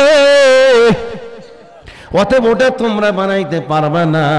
আল্লাহ পাক বলেন, আমি কুদরতি হাত দিয়ে বান্দার চেহারা তৈরি করেছি। এর দলিলটা কোরআনে সুরায় সদের মধ্যে আছে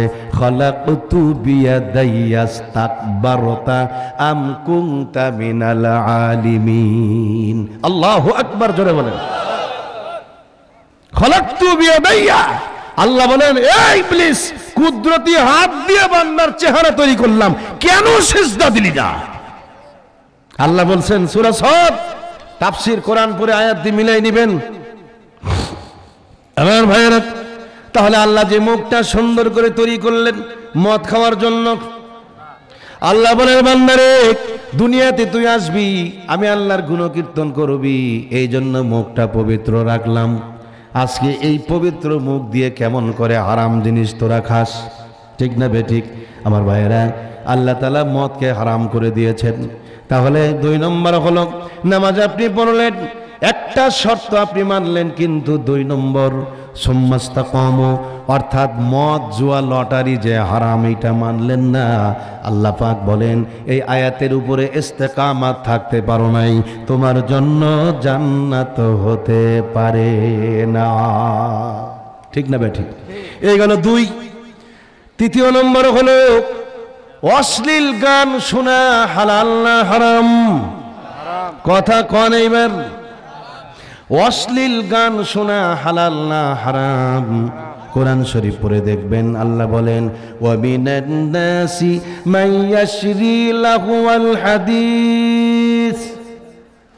গায়িকা কেনা বেচা করা হারাম। আজকেও দেখে আসলাম নওহাটা এই যে নওগার উপরে নওহাটা আছে না নাই? ওই নওহাটার উপরে দেখলাম যাত্রা গান চলতেছে। হুর হুর করে নেমে আসবে ডানা কাটা পরি যশোর অপেরা। ঘোষণা দিচ্ছে, হাজার হাজার মানুষ, আর এখানে মানুষ নাই, কোরআনের কথা হয়। ঠিক না বে, ঠিক? হাজার হাজার মানুষ দেখে আসলাম যাত্রা, যারা অশ্লীল গান শুনে হারাম। নামাজ আপনি পড়লেন নামাজের পর বাজারে গেলেন, সেখানে গিয়ে দেখলেন, অশ্লীল নৃত্য প্রদর্শন হচ্ছে। আপনি দাঁড়িয়ে গান শোনা শুরু করলেন। আল্লাহ পাক বললেন, বান্দারে, আমি যে গানকে হারাম করলাম, তুই কেন গান শুনলি? ঠিক না বে, ঠিক। গানকে, অশ্লীল গানকে হারাম করে দিলাম। নামাজ তুমি পড়ে একটা শর্ত মেনেছ, কিন্তু আমার আয়াতকে লঙ্ঘন করলা। তোমার জন্য জান্নাত হতে পারে না।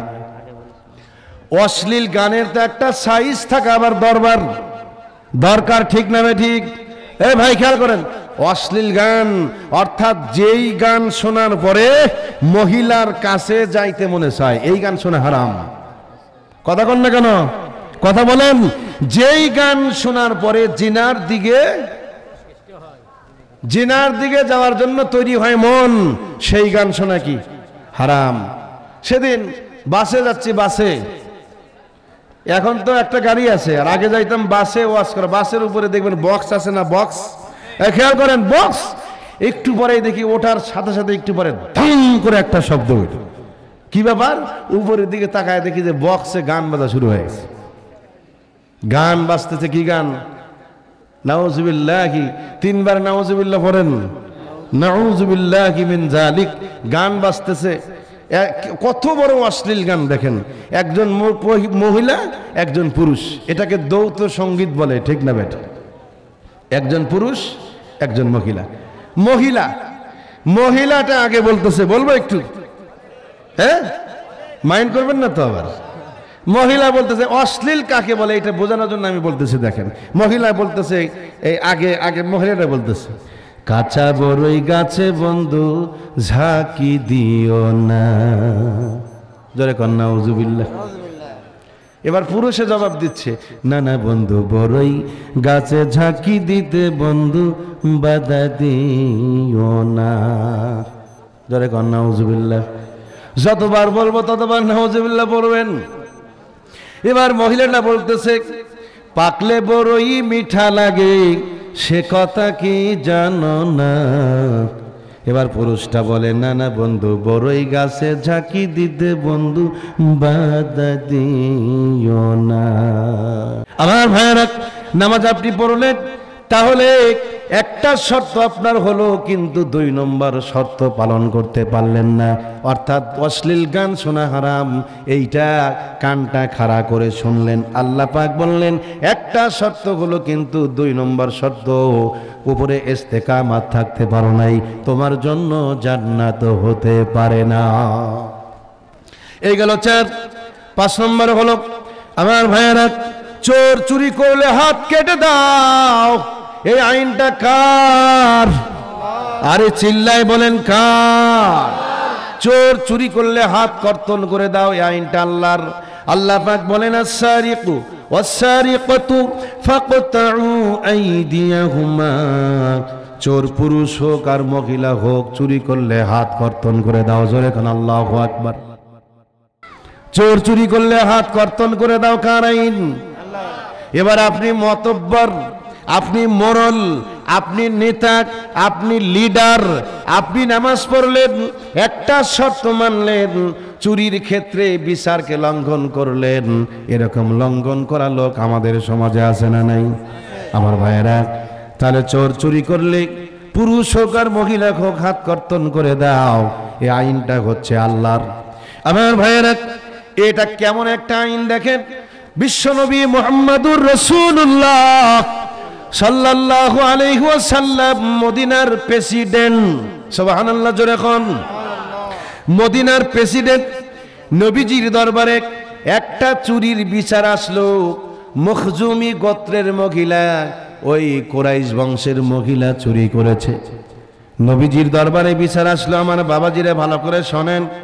বিচার যখন আসলো, বিচার আসার পর আমার নবীজি সঙ্গে সঙ্গে কোরআন খুলে ফেললেন আল্লাহ আকবার জোরে কন। খুব মনোযোগ। নবীজির দরবারে চুরির বিচার আসলো। আমার নবীজি সঙ্গে সঙ্গে কোরআন খুলে ফেললেন। সৌরাতুল ময়দা, তেরো নম্বর পৃষ্ঠা। আল্লাহ পাক ওই আয়াত, যে আয়াতটা নাজিল করেছেন, ওই আয়াত নবীজি পড়লেন আসারিকু ওয়াসারিকাতু ফাকতাউ আইদিয়াহুমা। চোর পুরুষ হোক আর মহিলা হোক, হাতটা কর্তন করে দাও। জোরে কোন আল্লাহু আকবার। আমার ভাইয়েরা, নবীজি রায়টা দিয়ে দিলেন। রায় দেবে এমন সময় সাহাবিরা পেরেশানি হয়ে গেল। আবু বকর, ওমর ওসমান আলী সকলেই পেরেশানির মধ্যে পড়ে গেল। হায়রে কোরাইশ বংশের মহিলার বিচারের রায়টা নবীজি দিয়ে দিবে। অর্থাৎ নবীজির কানে কানে একটু বললে তো ভালো হইতো হুজুর। রায়টা দেওয়ার আগে ভাববেন, এটা কিন্তু কোরাইশ বংশের মহিলা। অর্থাৎ আপনার নিজের বংশের মহিলা। রায়টা দিলে একটু দেখে শুনে দিবেন। এই কথাটা কে বলবে? আবু বকর বললেন, আমি পারব না। ওমর বললেন, আমি পারব না। ওসমান বলে, আমি পারব না। আমার ভাইয়েরা, আলী রাদি আল্লাহ তালু বললেন, আমি পারব না। সাহাবাইকেরাম সিদ্ধান্ত নিলেন, তাহলে ছোট্ট বাচ্চা দিয়ে খবর দাও। জায়দেবনে হারেসা রাদিয়াল্লাহু তাআলা আনহুর কলিজার টুকরা সন্তান ওসামা রাদিয়াল্লাহু তাআলা আনহুকে দিয়ে খবর দিয়ে দিলেন, যাও, তোমার দাদাকে গিয়ে বলো।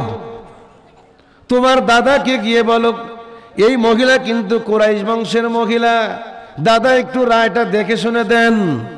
ওসামা রাদিয়াল্লাহু তাআলা আনহু এই খবরটা যখন নবীজির কানের মধ্যে দিলেন, আমার নবীজি বসা ছিলেন, আমার ভাইয়েরা দাঁড়িয়ে গেলেন, রাগে অগ্নিশর্মা হয়ে গেছে।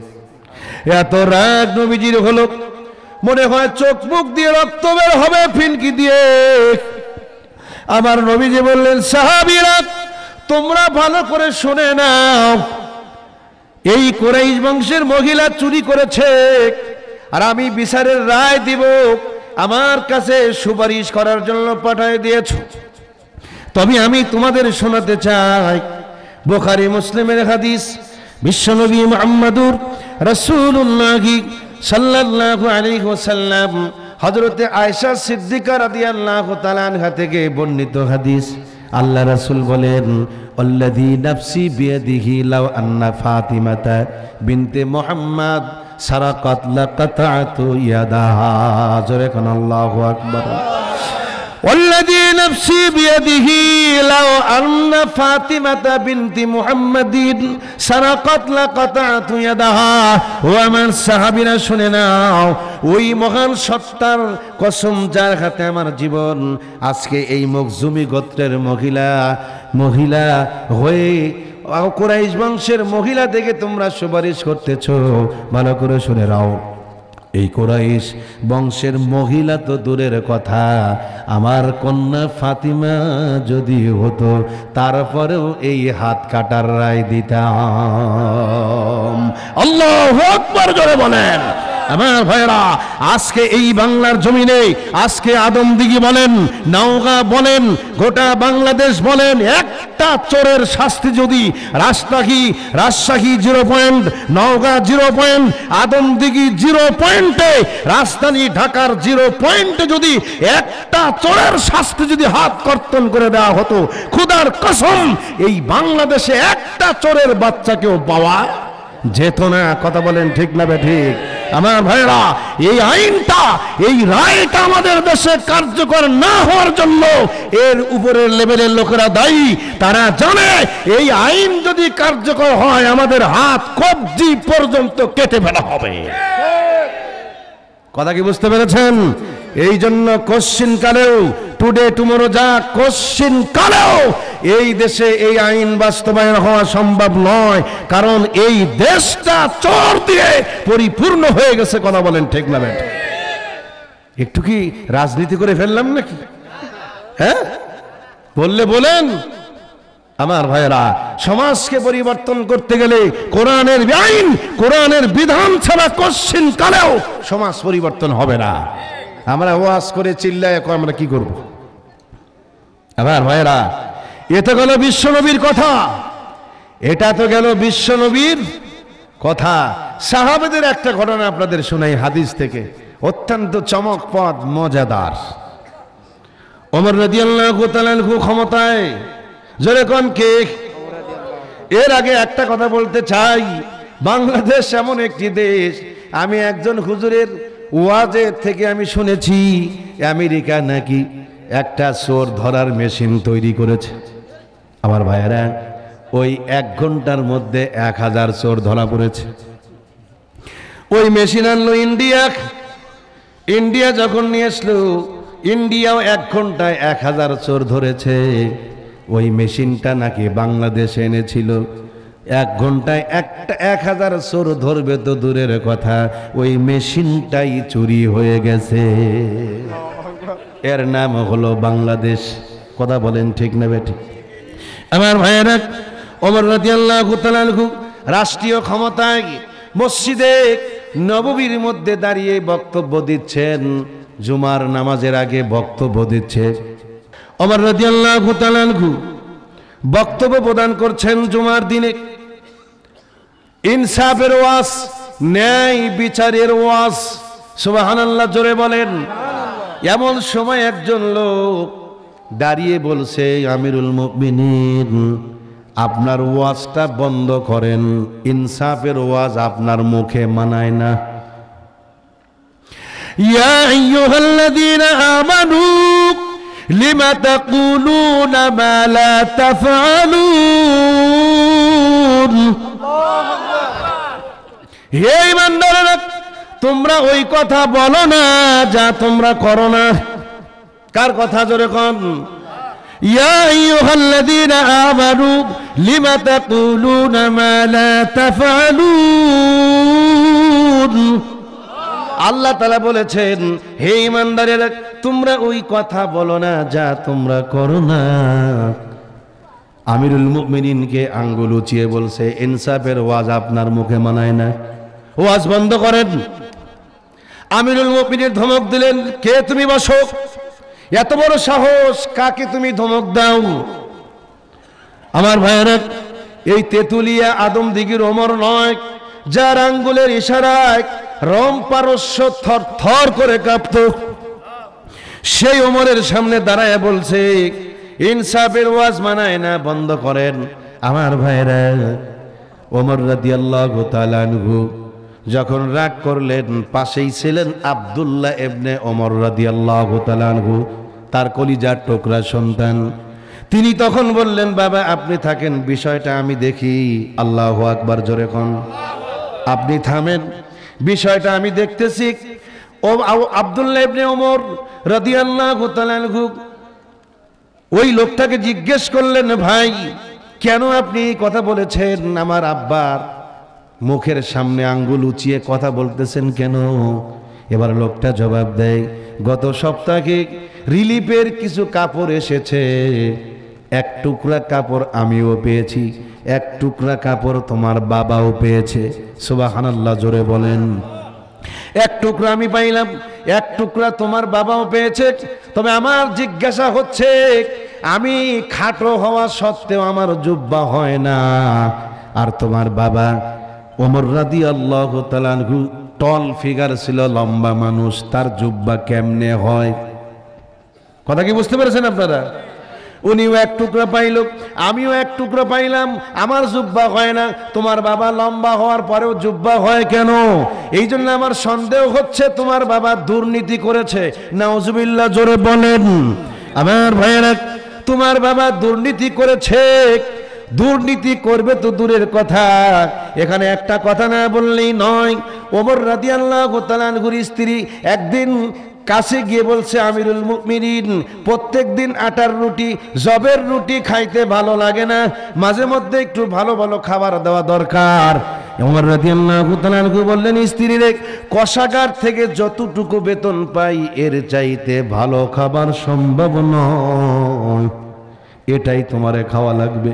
সুবহানাল্লাহ, জোরে বলে।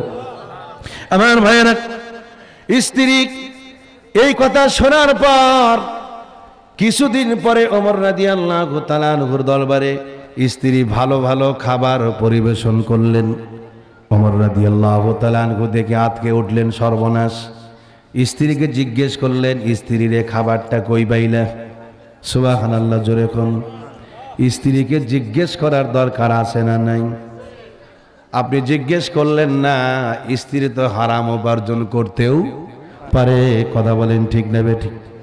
আমার ভাইয়েরা ওমর রাদিয়াল্লাহু তাআলা জিজ্ঞেস করলেন, স্ত্রী, খাবারটা তুমি কই পাইলা? স্ত্রী বললেন, স্বামী গো, আপনি প্রাণ ভরে খান, চিন্তার কোনো কারণ নাই। আমি দুর্নীতি করি নাই, অন্যায় করি নাই, চুরি করি নাই। স্ত্রী জবাব দিচ্ছে, আমার ভাইয়েরা, স্ত্রী জবাব দেয়, স্বামী গো, আজ থেকে কিছুদিন পর্যন্ত আমি আপনার সংসার থেকে যতটুকু খাবার বরাদ্দ হয়, ওই খাবার থেকে এক মুষ্টি করে প্রত্যেক অক্তে উঠায়া উঠায়া অনেকগুলি খাবার আমি জমা করেছিলাম সোবাহান্লাহ জোরে কম প্রত্যেক অক্ত থেকে এক মুষ্টি করে আটা উঠায়া, জমা করে অনেকগুলি হয়েছে, বাজারে বিক্রি করে দিয়া আমি ভালো ভালো খাবারের ব্যবস্থা করে দিয়েছি। ভালো ভালো খাবারের ব্যবস্থা করে দিয়েছি। এই কথা শোনার পরে ওমর রাতি আল্লাহ তো খাওয়ার কথা কথা বলেন ঠিক না বে ঠিক? আমার ভাইরা তারপরেও খাইলেন না না খাইয়া সর্বপ্রথম অর্থমন্ত্রীর কাছে চিঠি লিখলেন অর্থমন্ত্রীরে, প্রত্যেক দিন আমার সংসারে যতটুকু খাবার বরাদ্দ হয়, ওই খাবার থেকে আজ থেকে এক মুষ্টি করে কম দিলেও চলবে। আল্লাহ আকবার, জোরে বলেন। তেঁতুলিয়া গ্রামের মানুষকে আমি এই কথাটা বুঝাইতে পারলাম কিনা আল্লাহ জানি। আমার ভাইয়েরা, কথা বলেন ঠিক না ঠিক? তাহলে ওই ওমর নাকি দুর্নীতি করেছে, লোকটা দাঁড়ায়া বলতেছে। আমার ভাইয়েরা, এবার আবদুল্লাহ এবনে ওমর রাদিয়াল্লাহু তাআলা লোকটাকে বললেন, ভাই, তাহলে একটা প্রশ্ন রাখতে চাই, বলো তুমি। গত জুমার নামাজ তুমি কোথায় আদায় করেছ? লোকটাকে প্রশ্ন করলেন, কলিজার টুকরা সন্তান, লোকটা জবাব দেয়, গত জুমার নামাজটাও তোমার বাবার পিছনে আদায় করেছি। এবার আবদুল্লাহ ইবনে ওমর প্রশ্ন করলেন, ভাই, তাহলে বলো, গত জুমার নামাজে আমার বাবার শরীরে কেমন জামা ছিল? জোরে কন্যা, আল্লাহ আকবর। আমার ভাইয়েরা, ওই লোকটাই কথা শোনার পর দুটি চোখের পানি ছেড়ে দিলেন, কানতে কানতে বলতেছে, আমিরুল মুমিনের সন্তান ভালো করে শুনে নাও। গত জুমার নামাজ তোমার বাবার পেছনে পড়েছি, তোমার বাবার শরীরে যেই জামা দেখেছি, এত তালি দেওয়া জামা আমার জীবনে কোনো দিন দেখি নাই। তাহলে আজকে নতুন জামা দেখে তোমার হিংসা হয়। তুমি তো ডাউট মনে করেছ, সন্দেহ করেছ। গত জুমার নামাজে আমার বাবার শরীরে সেরা জামা ছিল। ও ভাই, তাহলে এবার ভালো করে শুনে নাও। এই জুমার নামাজে বিভিন্ন দেশ থেকে কিছু গভর্নররা আসবে, নামাজ পড়বে এইখানে। তখন আমি সন্তান মনে মনে ভাবলাম, আমার বাবা তালি দেওয়া জামা গায়ে দিয়ে নামাজ পড়ালে কেমনে হয়? এই জন্য আমিও তো এক টুকরা কাপড় পেয়েছিলাম, আমার বাবার টুকরা মিলায়া, আমারটা মিলায়া, আমার বাবার জন্য একটা জুব্বা তৈরি করেছি। আর জোরে এখন আল্লাহু আকবার। এই ছিল সাহাবাই কেরামদের জিন্দেগি, কথা বলেন ঠিক না বে ঠিক? ন্যায় বিচার তারা কায়েম করে গেছে। আপনি নামাজ পড়লেন, কিন্তু ন্যায় বিচার করলেন না। আল্লাহ যে ন্যায় বিচার করার কথা বলেছেন, চোর চুরি করলে হাত কর্তন করে দাও। এই কথা বলেছেন, আপনি করলেন না। আল্লাহ পাক বললেন, দুটি শর্ত তোমার হয় নাই কশ্চিন কালেও তোমার জন্য জান্নাত নাই। কথা বলেন ঠিক না বেঠিক এই পাঁচ, ছয় নম্বর হচ্ছে, এটার মাধ্যমে আমি ওয়াজটাও শেষ করে ফেলব। তারপরে কর্তৃপক্ষ আমাকে কিছু বলছেন, এটাও এই মধ্যেই পেয়ে যাবেন ইনশা আল্লাহ খেয়াল করেন। ছয় নম্বর হলো, এবার পরিষ্কার করে সত্য কথা আপনারা বলবেন। আপনাদের এই এলাকার মহিলারা পাঁচ অক্ত নামাজ পড়ে কি পড়ে না এমন মহিলা আছে? কথা কয় না কেন? মহিলারা পাঁচ অক্ত নামাজ পড়ে, অথবা এক অক্ত পড়ে, অথবা দুই অক্ত পড়ে। এই মহিলারা আল্লাহকে রব বলেই পড়ে, কি পড়ে না জোরে তাহলে মহিলারাও আল্লাহকে রব বলেই তো নামাজ পড়ে। একটা শর্ত আমার আম্মা জানেরাও পালন করল, ঠিক না বে ঠিক? এবার মহিলাদের কাছে ফেরেস্তা আসার শর্ত কয়টা? আর একটা শর্ত সুম্মাস্তা কম ঠিক না বে ঠিক? নামাজের বিধানটা কি ভালো করে শুনে নেন? আমার ভাইয়েরা, আল্লাহ পাক, আল্লাহ রাসুল বলেন, ও মহিলা, তোমরা ঘরের মধ্যে নামাজ পড়বে, গোটা শরীরটা আবৃত করবে, চুলের গোড়াটাও যেন বের না হয়। ঠিক না বে ঠিক? চুলের গোড়াও বের হওয়া যাবে না।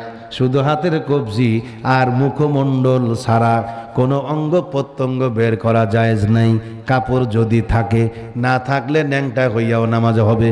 সুবাহ জোরে এখন আমার ভাইয়েরা নবীজি বললেন, ঘরের মধ্যে নামাজ পড়ো, ঘরটা পর্দা আবার গোটা শরীরটা আবৃত্ত করে নামাজ পড়ো। আমার ভাই এত সুন্দর করে বলে তারপরে বললেন, কাপড়ের ভিতর থেকেই সিনা পর্যন্ত হাত তুলবে, নতি পর্যন্ত হাত তুলবে না, আর কাপড়ের বাহির থেকে হাত তুলবে না, কারণ পিছন দিক থেকে বেপর্দা হওয়ার সম্ভাবনাও থাকতে পারে। আল্লাহ আকবার জোরে বলেন। কত চমৎকার ইসলাম দেখেন। নবীজিকে, নবীজি নারীকে বললেন, পর্দার ভিতর থেকেই সিনা পর্যন্ত হাত তুলো বা কাপড়ের বাহির দিয়ে তুলবা না, তাহলে পিছন দিক থেকে বেপর্দা হওয়ার সম্ভাবনা থাকতে পারে। আমার ভাইয়েরা, এবার আপনি বলেন তো দেখি, এত সুন্দর করে আমার মা নামাজ পড়ল, নামাজের পর বন্ধু টেলিফোন করল, ও শাহনাজ, তুমি কোথায়? কয় খেয়া বলতে নামাজ হইল? কয়, তাড়াতাড়ি আসো। নওগাঁ পার্কে আমি বসে আছি। এবার আপনারা সত্য করে বুকে হাত দিয়ে বলেন তো দেখি বন্ধুর টেলিফোন পাইয়া আমার মা কি ওই নামাজের পোশাক নিয়ে বের হবে? গোটা শরীরটা ঢাকা ছিল।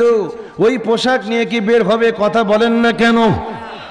ওই পোশাক নিয়ে বের হবে না।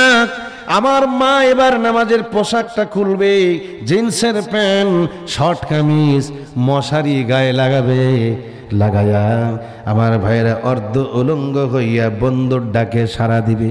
আল্লাহ ওই নারীকে ডাক দিয়ে বললেন, নারী রে, একটু আগেই তুই না নামাজ পড়লি, পর্দা বিধান পালন করে। এরপর একটা শর্ত তোমার হলো, আমি যে আল্লাহ নিষেধ করলাম, এ নারী ও ওয়ালা জাহিলিয়াতিল উলা। ও নারীরা জাহিলি যুগের মতো বেপর্দায় বের হবে না। একটা শর্ত নামাজ আদায় করে করেছ। এই যে পর্দার বিধানটা লঙ্ঘন করেছ, তোমার জন্য কশ্চিন কালেও জান্নাত হতে পারে না। কথা বলেন ঠিক না ঠিক? একটা শর্ত তুমি মেনেছ, পর্দা বিধান এই আয়াতের উপরে ইস্তেকামাত থাকতে পারো নাই। কশ্চিন কালেও তোমার জন্য কি নাই? জান্নাত নাই। আজকে মহিলারা লাঞ্ছিত, অপমানিত, পদদলিত, ধর্ষিত হয়। কারণটা কি? কারণ কি? এর কারণ হচ্ছে মহিলারা লাঞ্ছিত হয়, ধর্ষিত হয়, অপমানিত হয়। এর জন্য বাংলাদেশের কোন যুবক দায়ী নয়, ওরা নিজেরাই দায়ী। যুবকরা খুশি হয়ে গেছে, আর মহিলা ঝাঁটা নিয়ে রেডি হয়েছে আমার জন্য। যে বের হও আগে মাহফিল থেকে। যুবকরা দায়ী নয়, ওরা নিজেরাই দায়ী। এর একটা উদাহরণ দিয়ে দেই, তাছাড়া তো বুঝতে পারবেন না যে হুজুর কেমনে পেঁয়াজ বাদাই দিয়ে গেল। একটু আগেই বলেছি আসারিকু অসারিকতু ফাকতাউ আইদিয়াহুমা, চোর পুরুষ হোক আর মহিলা হোক, হাত কর্তন করে দাও কারাইন খুব ভালো করে বোঝেন, এই ব্যাখ্যাটা বুঝতে হবে, উল্টা পাল্টা বুঝলে কিন্তু খবর আছে আপনাদের। খেয়াল করে দেখেন, আল্লাহ চুরির ক্ষেত্রে পুরুষদের নাম আগে বললেন। সোহান আল্লাহ জোরে এখন কার নাম আগে? আসারিকু ওলামাই কেরামকে জিজ্ঞেস করে দেখেন আসারিকু শব্দের অর্থ হলো পুরুষ। চোর পুরুষ হোক আর মহিলা হোক, হাত কর্তন করে দাও। তাহলে চোরের ক্ষেত্রে পুরুষদের নাম আল্লাহ আগে উচ্চারণ করলেন। পক্ষান্তরে জিনার ক্ষেত্রে আমার আল্লাহ কি বলছে দেখেন ওয়াজ্জানি জিনাকারী নারী, জিনাকারী পুরুষ। জেনার ক্ষেত্রে কার নাম আগে? এইটাই হলো কোরআনের কারিশমা সোবাহান আল্লাহ জোরে খান এটাই হচ্ছে কোরআনের মোজেজা। খুব মনোযোগ দিয়ে শোনেন। চোরের ক্ষেত্রে পুরুষদের নাম আমার আল্লাহ আগে ব্যবহার করলেন। আর জিনার ক্ষেত্রে এসে আজানিয়াতু মহিলাদের নাম আল্লাহ আগে বললেন। কারণটা কি? কারণ চুরির ক্ষেত্রে পুরুষরা আগে আগায়া যায়, আর জিনার ক্ষেত্রে মহিলারা এক ধাপ আগে এগিয়ে যায়। এগিয়ে যায় কোন কারণে? তিনটা কারণে ধরে কোন কয়টা? এক নম্বর হলো জিন্সের প্যান্ট। দুই নম্বর হলো শর্ট কামিজ, তিন নম্বর মশারি। এইটা গায়ে দিয়ে যদি কোনো যুবকদের সামনে দিয়ে হাঁটে, খোদার কসম, কোনো আইন দিয়ে ইফটিজিং বন্ধ করা সম্ভব নয়। ঠিক না বে, ঠিক? আমার ভাইয়েরা, আমার মায়েরা যদি হান্ড্রেড পার্সেন্ট পর্দা করে খোদার কসম এই দেশে রহমত বর্ষিত হতে থাকবে সোহান আল্লাহ জোরে বলেন। আমার ভাইয়েরা মাদের সম্পর্কে লাস্টে আমি একটা কথাই বলব, সেটি হচ্ছে, আপনারা ওয়াজ শুনছেন কিনা জানি না, হাদিস শরীফের মধ্যে একটা কথা আছে, ওয়া ফাতিমাতু সাইয়্যিদাতু নিসাই আহলিল জান্নাহ। সুবহানাল্লাহ, জোরে খন ফাতেমা রাদিয়াল্লাহু তাআলা আনহা হবে জান্নাতের নারীদের সর্দারিনী, জোরে কন্যা আল্লাহু আকবার। কেন হবে ভাই? এই কথা কি আপনারা জানেন? জান্নাতে নারীদের সর্দারিনী কেন হবে? সুবহানাল্লাহ, জোরে কোন বিশ্বনবী মোহাম্মদুর রসুল্লাহ মেয়ের জন্য নয়। আলী রাদি আল্লাহ তালানহুর স্ত্রী হওয়ার জন্য নয়। হাসান হুসাইন রাদি আল্লাহ তালানহুর আম্মা হওয়ার জন্য নয়। তাহলে কেন জান্নাতে নারীদের সর্দারিনী হবে? আমার ভাইরা, এর একমাত্র কারণ হলো আলী রাদি আল্লাহ তালা আনহুর দোয়ার জন্য। অর্থাৎ স্বামী হয়ে স্ত্রীর জন্য দোয়া করেছেন, ওই জন্য জান্নাতের সর্দারিনী হবে। আল্লাহ আকবার জোরে বলেন। এটার একটা করুণ ঘটনা আছে, বলব নাকি?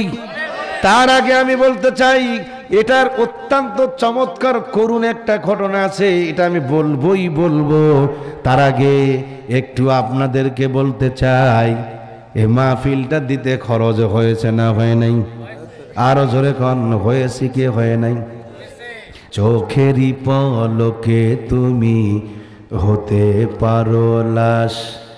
চিরতরে বন্ধ হবে তোমারই নিঃশ্বাস।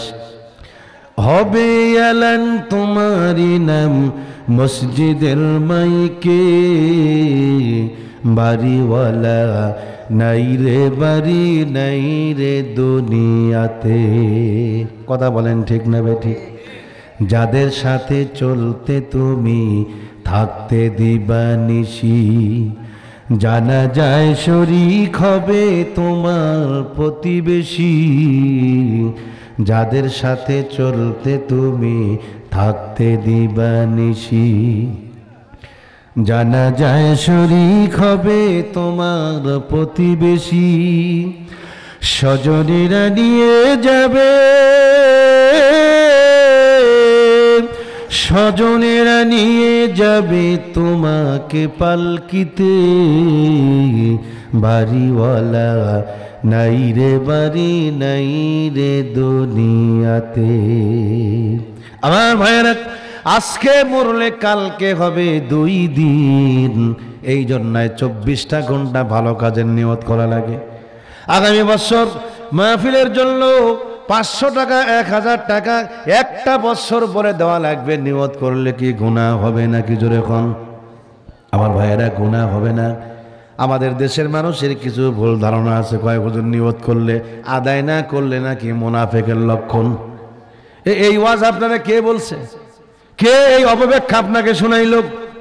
ভালো কাজের নিয়ত করলে ওয়াদা করার পর নিয়ত করলে, আদায় না করলে মোনাফেকের লক্ষণ নয়। সুবাহ জোরে কন। আমার ভাইয়েরা, ভালো কাজের নিয়ত করলে আমার ভাইয়ের একটা সোয়াব লেখা হয় হাদিস শরীফের মধ্যে আছে। আর আমল করলে সোয়াবটা দশ গুণ বাড়ায়া দেওয়া হয়। ফাতিমা রাদিয়াল্লাহু তাআলা আনহা, ও আম্মা জানেরা, তোমরা ভালো করে শোনো। ফাতিমা আনহা, কেন জান্নাতে নারীদের সর্দারিনী হবে শোনেন, আলী রাদিয়াল্লাহু তাআলা একদিন দিনের কাজ করে সারা দিন কষ্ট করে সন্ধ্যার দিকে বাড়িতে ফিরলেন। সুবহানাল্লাহ, জোরে কোন। সন্ধ্যার দিকে বাড়িতে আসলেন। পানির পিপাসায় অত্যন্ত কাতর। ফাতিমা রাদিয়াল্লাহু তাআলা আনহাকে ডাক দিয়ে বললেন, ফাতিমা পানির পিপাসা লেগেছে। তাড়াতাড়ি পানি দাও। আমার ভাইয়েরা, ফাতিমা রাদিয়াল্লাহু তাআলা আনঘা বললেন, স্বামী গো, ঘরের মধ্যে কোনো পানি নাই। ওই জামানায় অ্যাভেলেবল পানি পাওয়া যেত না সব সময়। আপনি বসেন, একটু বিশ্রাম নেন। সন্ধ্যা হয়ে গেছে, বাহির থেকে দূর থেকে পানি আনা লাগবে। সোহানাল্লাহ জোরে খন ফাতিমা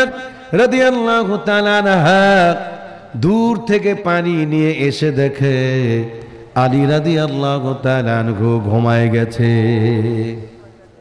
পানি পান না করে ঘুমায় গেলেন।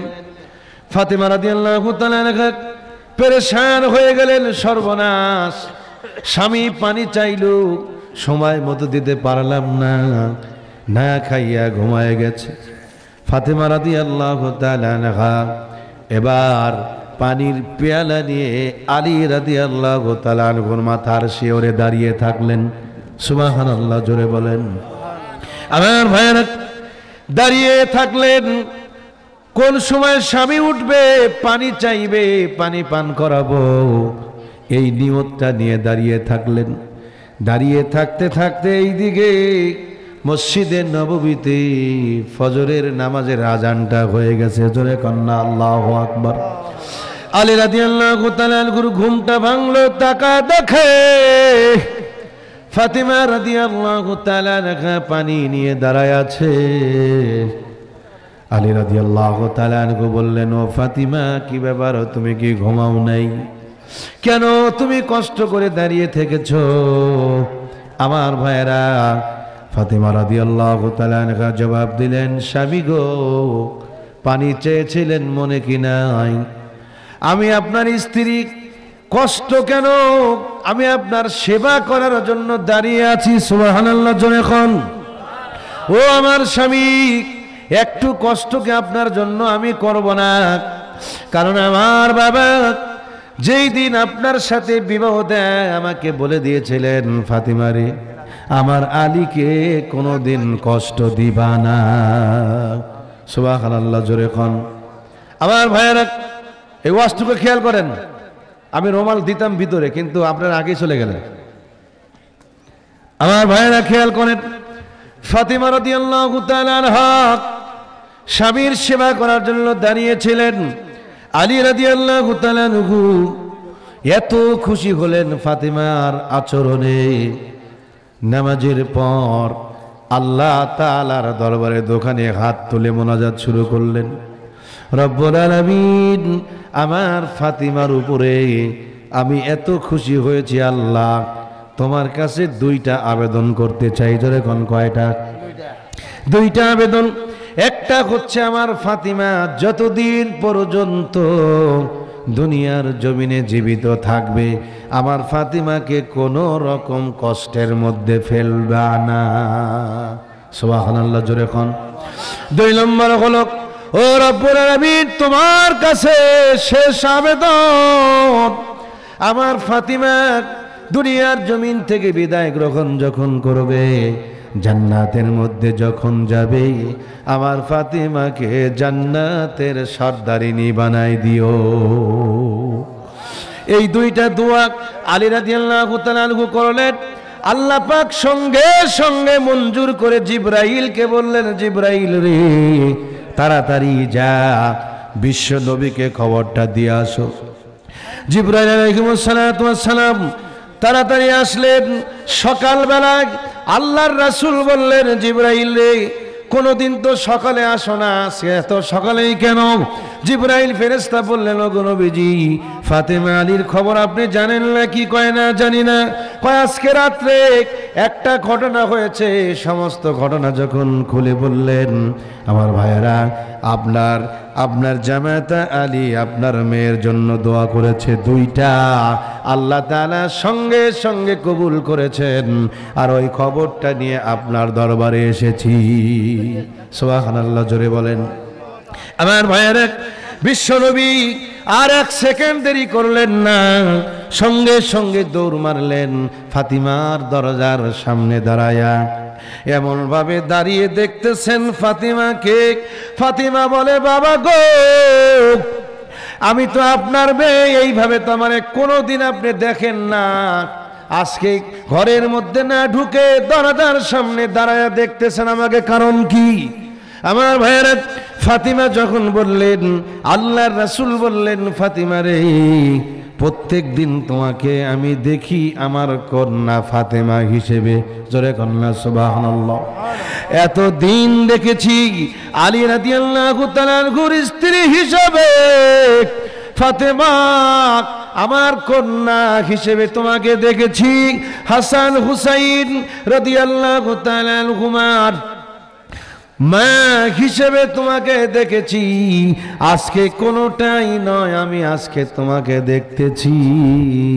জান্নাতের সর্দারিণী হিসেবে। জোরে কন্যা, আল্লাহ আকবর। ও আমার আম্মা জানে রাখ দেখুন তো স্বামীর দোয়ার প্রয়োজন আছে না নাই? ও মায়েরা, জান্নাতে যদি যেতে চান, স্বামীর দোয়ার বিকল্প হতে পারে না। আর স্বামীর সেবা যত্ন করবেন, খেদমত করবেন, জান্নাত পেতে গেলে, ঠিক না ঠিক? আর পুরুষদেরকে, আপনাদেরকেও আমি বলতে চাই, স্ত্রীর সাথে মহাব্বত করবেন বিশ্ব নবীর তরিকায়। জোরে কন্যা, আল্লাহ আকবার। কার তরিকায়? এই দুনিয়ার কোন নেতার তরিকায় নয়, কোন ব্যবসায়ীর তরিকায় নয়, কোন রাজনীতিক ব্যক্তিত্বের তরিকায় নয়, বিশ্বনবীর তরিকায় স্ত্রীদেরকে মহাব্বত করতে হবে সুবাহ জোরে বলেন। লাস্ট সর্বশেষ কথা হচ্ছে নবীজি স্ত্রীদেরকে কীভাবে মহাব্বত করতেন? মাদেরকে স্বামীর দোয়া নেওয়ার জন্য ওয়াজ করলাম। আর আপনাদেরকে বলব বিশ্বনবীর তরিকায় স্ত্রীদেরকে মহাব্বত করতে। ঠিক না বে ঠিক? কেমন করে মহাব্বত করবেন? এই কথাটা একটু আপনারা বুঝেন। একদিন বিশ্বনবীর দরবারে চারজন স্ত্রী বসে আছেন। কয়জন? আরও জন বল। চারজন স্ত্রী। বিশ্বনবীর স্ত্রী অনেকজন, কিন্তু একদিন বসে আছে চারজন একখানে। একজন স্ত্রী দাঁড়ায় বলছে ও গো নবীজি একজন স্ত্রী দাঁড়িয়ে গিয়ে বললেন, ওগো নবীজি, আমাদের এই চারজনের মধ্যে আপনি কাকে বেশি মহাব্বত করেন? একটু জবাব দেন। সোহান আল্লাহ এখন চমৎকার কথা না? আমাদের এই চারজনের মধ্যে আপনি কাকে মহব্বত করেন? আমার ভাইয়েরা, নবীজি বললেন, এই জবাবটা আজকে আমি তোমাদের দেব না। কালকে দেব সোহান আল্লাহ এখন বিশ্ব নবীর হেকমতটা দেখেন। নবীজি বললেন, এই জবাবটা আজকে তোমাদের আমি দেব না, কালকে দেব। নবীজির উদ্দেশ্য হলো, এখন কার নাম বলব, কে মারামারি করবে পরে? ঠিক না বে ঠিক?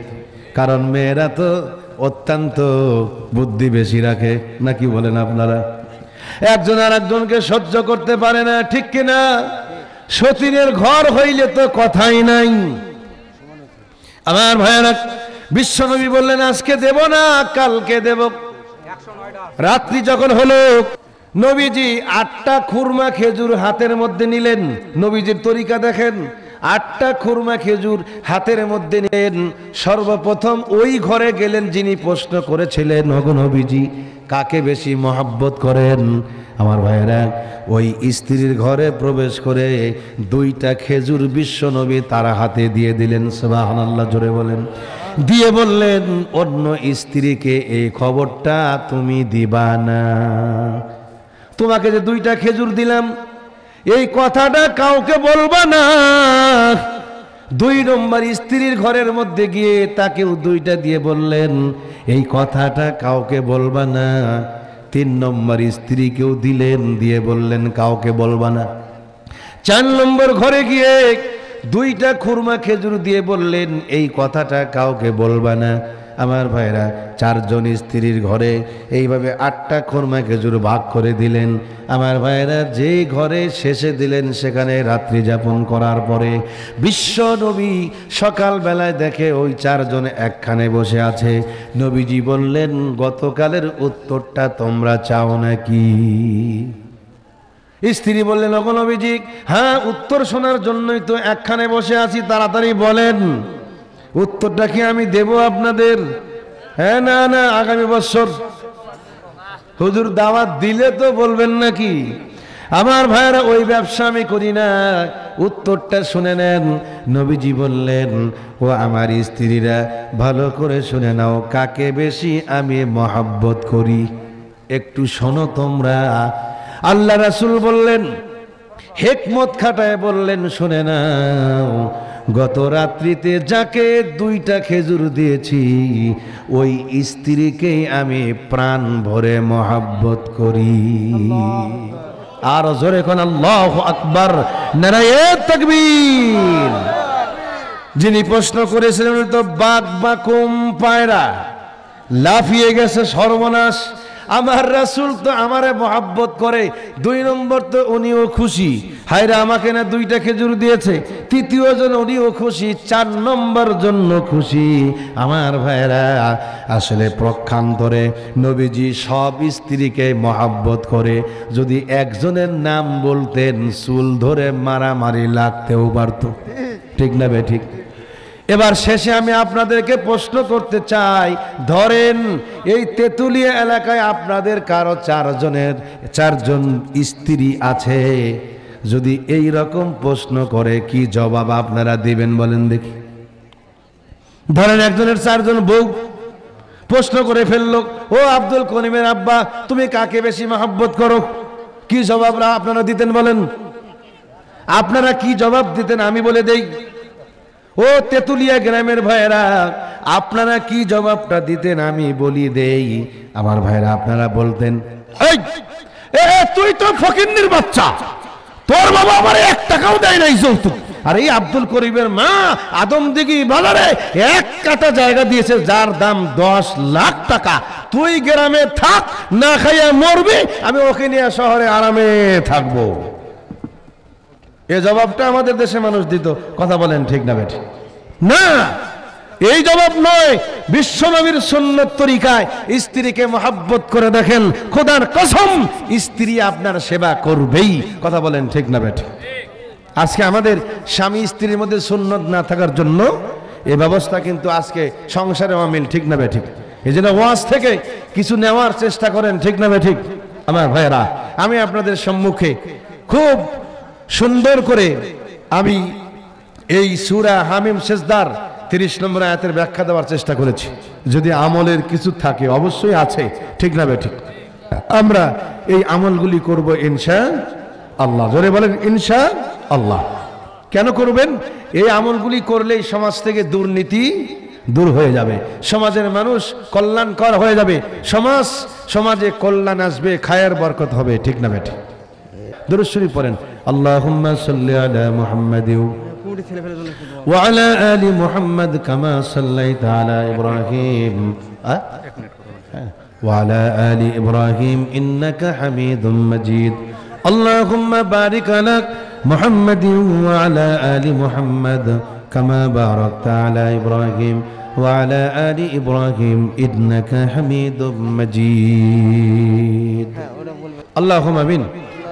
ربنا ظلمنا أنفسنا وإن لم تغفر لنا وترحمنا لنكونن من الخاسرين رب ارحمهما كما ربياني صغيرا আল্লাহ তাআলা আদম দিকে তেতুলিয়া গ্রামের গ্রামবাসী কর্তৃক আয়োজিত আজকের এই ইসলামী জালসার সামিয়ানার নিচে বসে আল্লাহ তাআলা মাগরিবের নামাজের পর থেকে নিয়ে এতক্ষণ পর্যন্ত ওলামায়ে কেরাম কথা বলেছে, মাবুদ। আল্লাহ তাআলা, ও মাবুদ গো, তোমার বান্দা বান্দিরা দান করলেন, সদকা করলেন। যে যা দিয়েছে মাবুদ গো, সামর্থ্য অনুযায়ী আল্লাহ তাআলা সকলের দানগুলি কবুল করে নিও।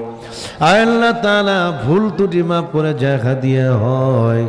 সোনার মদিনায় নবী পাকের রওজা মোবারকে পৌঁছে দাও।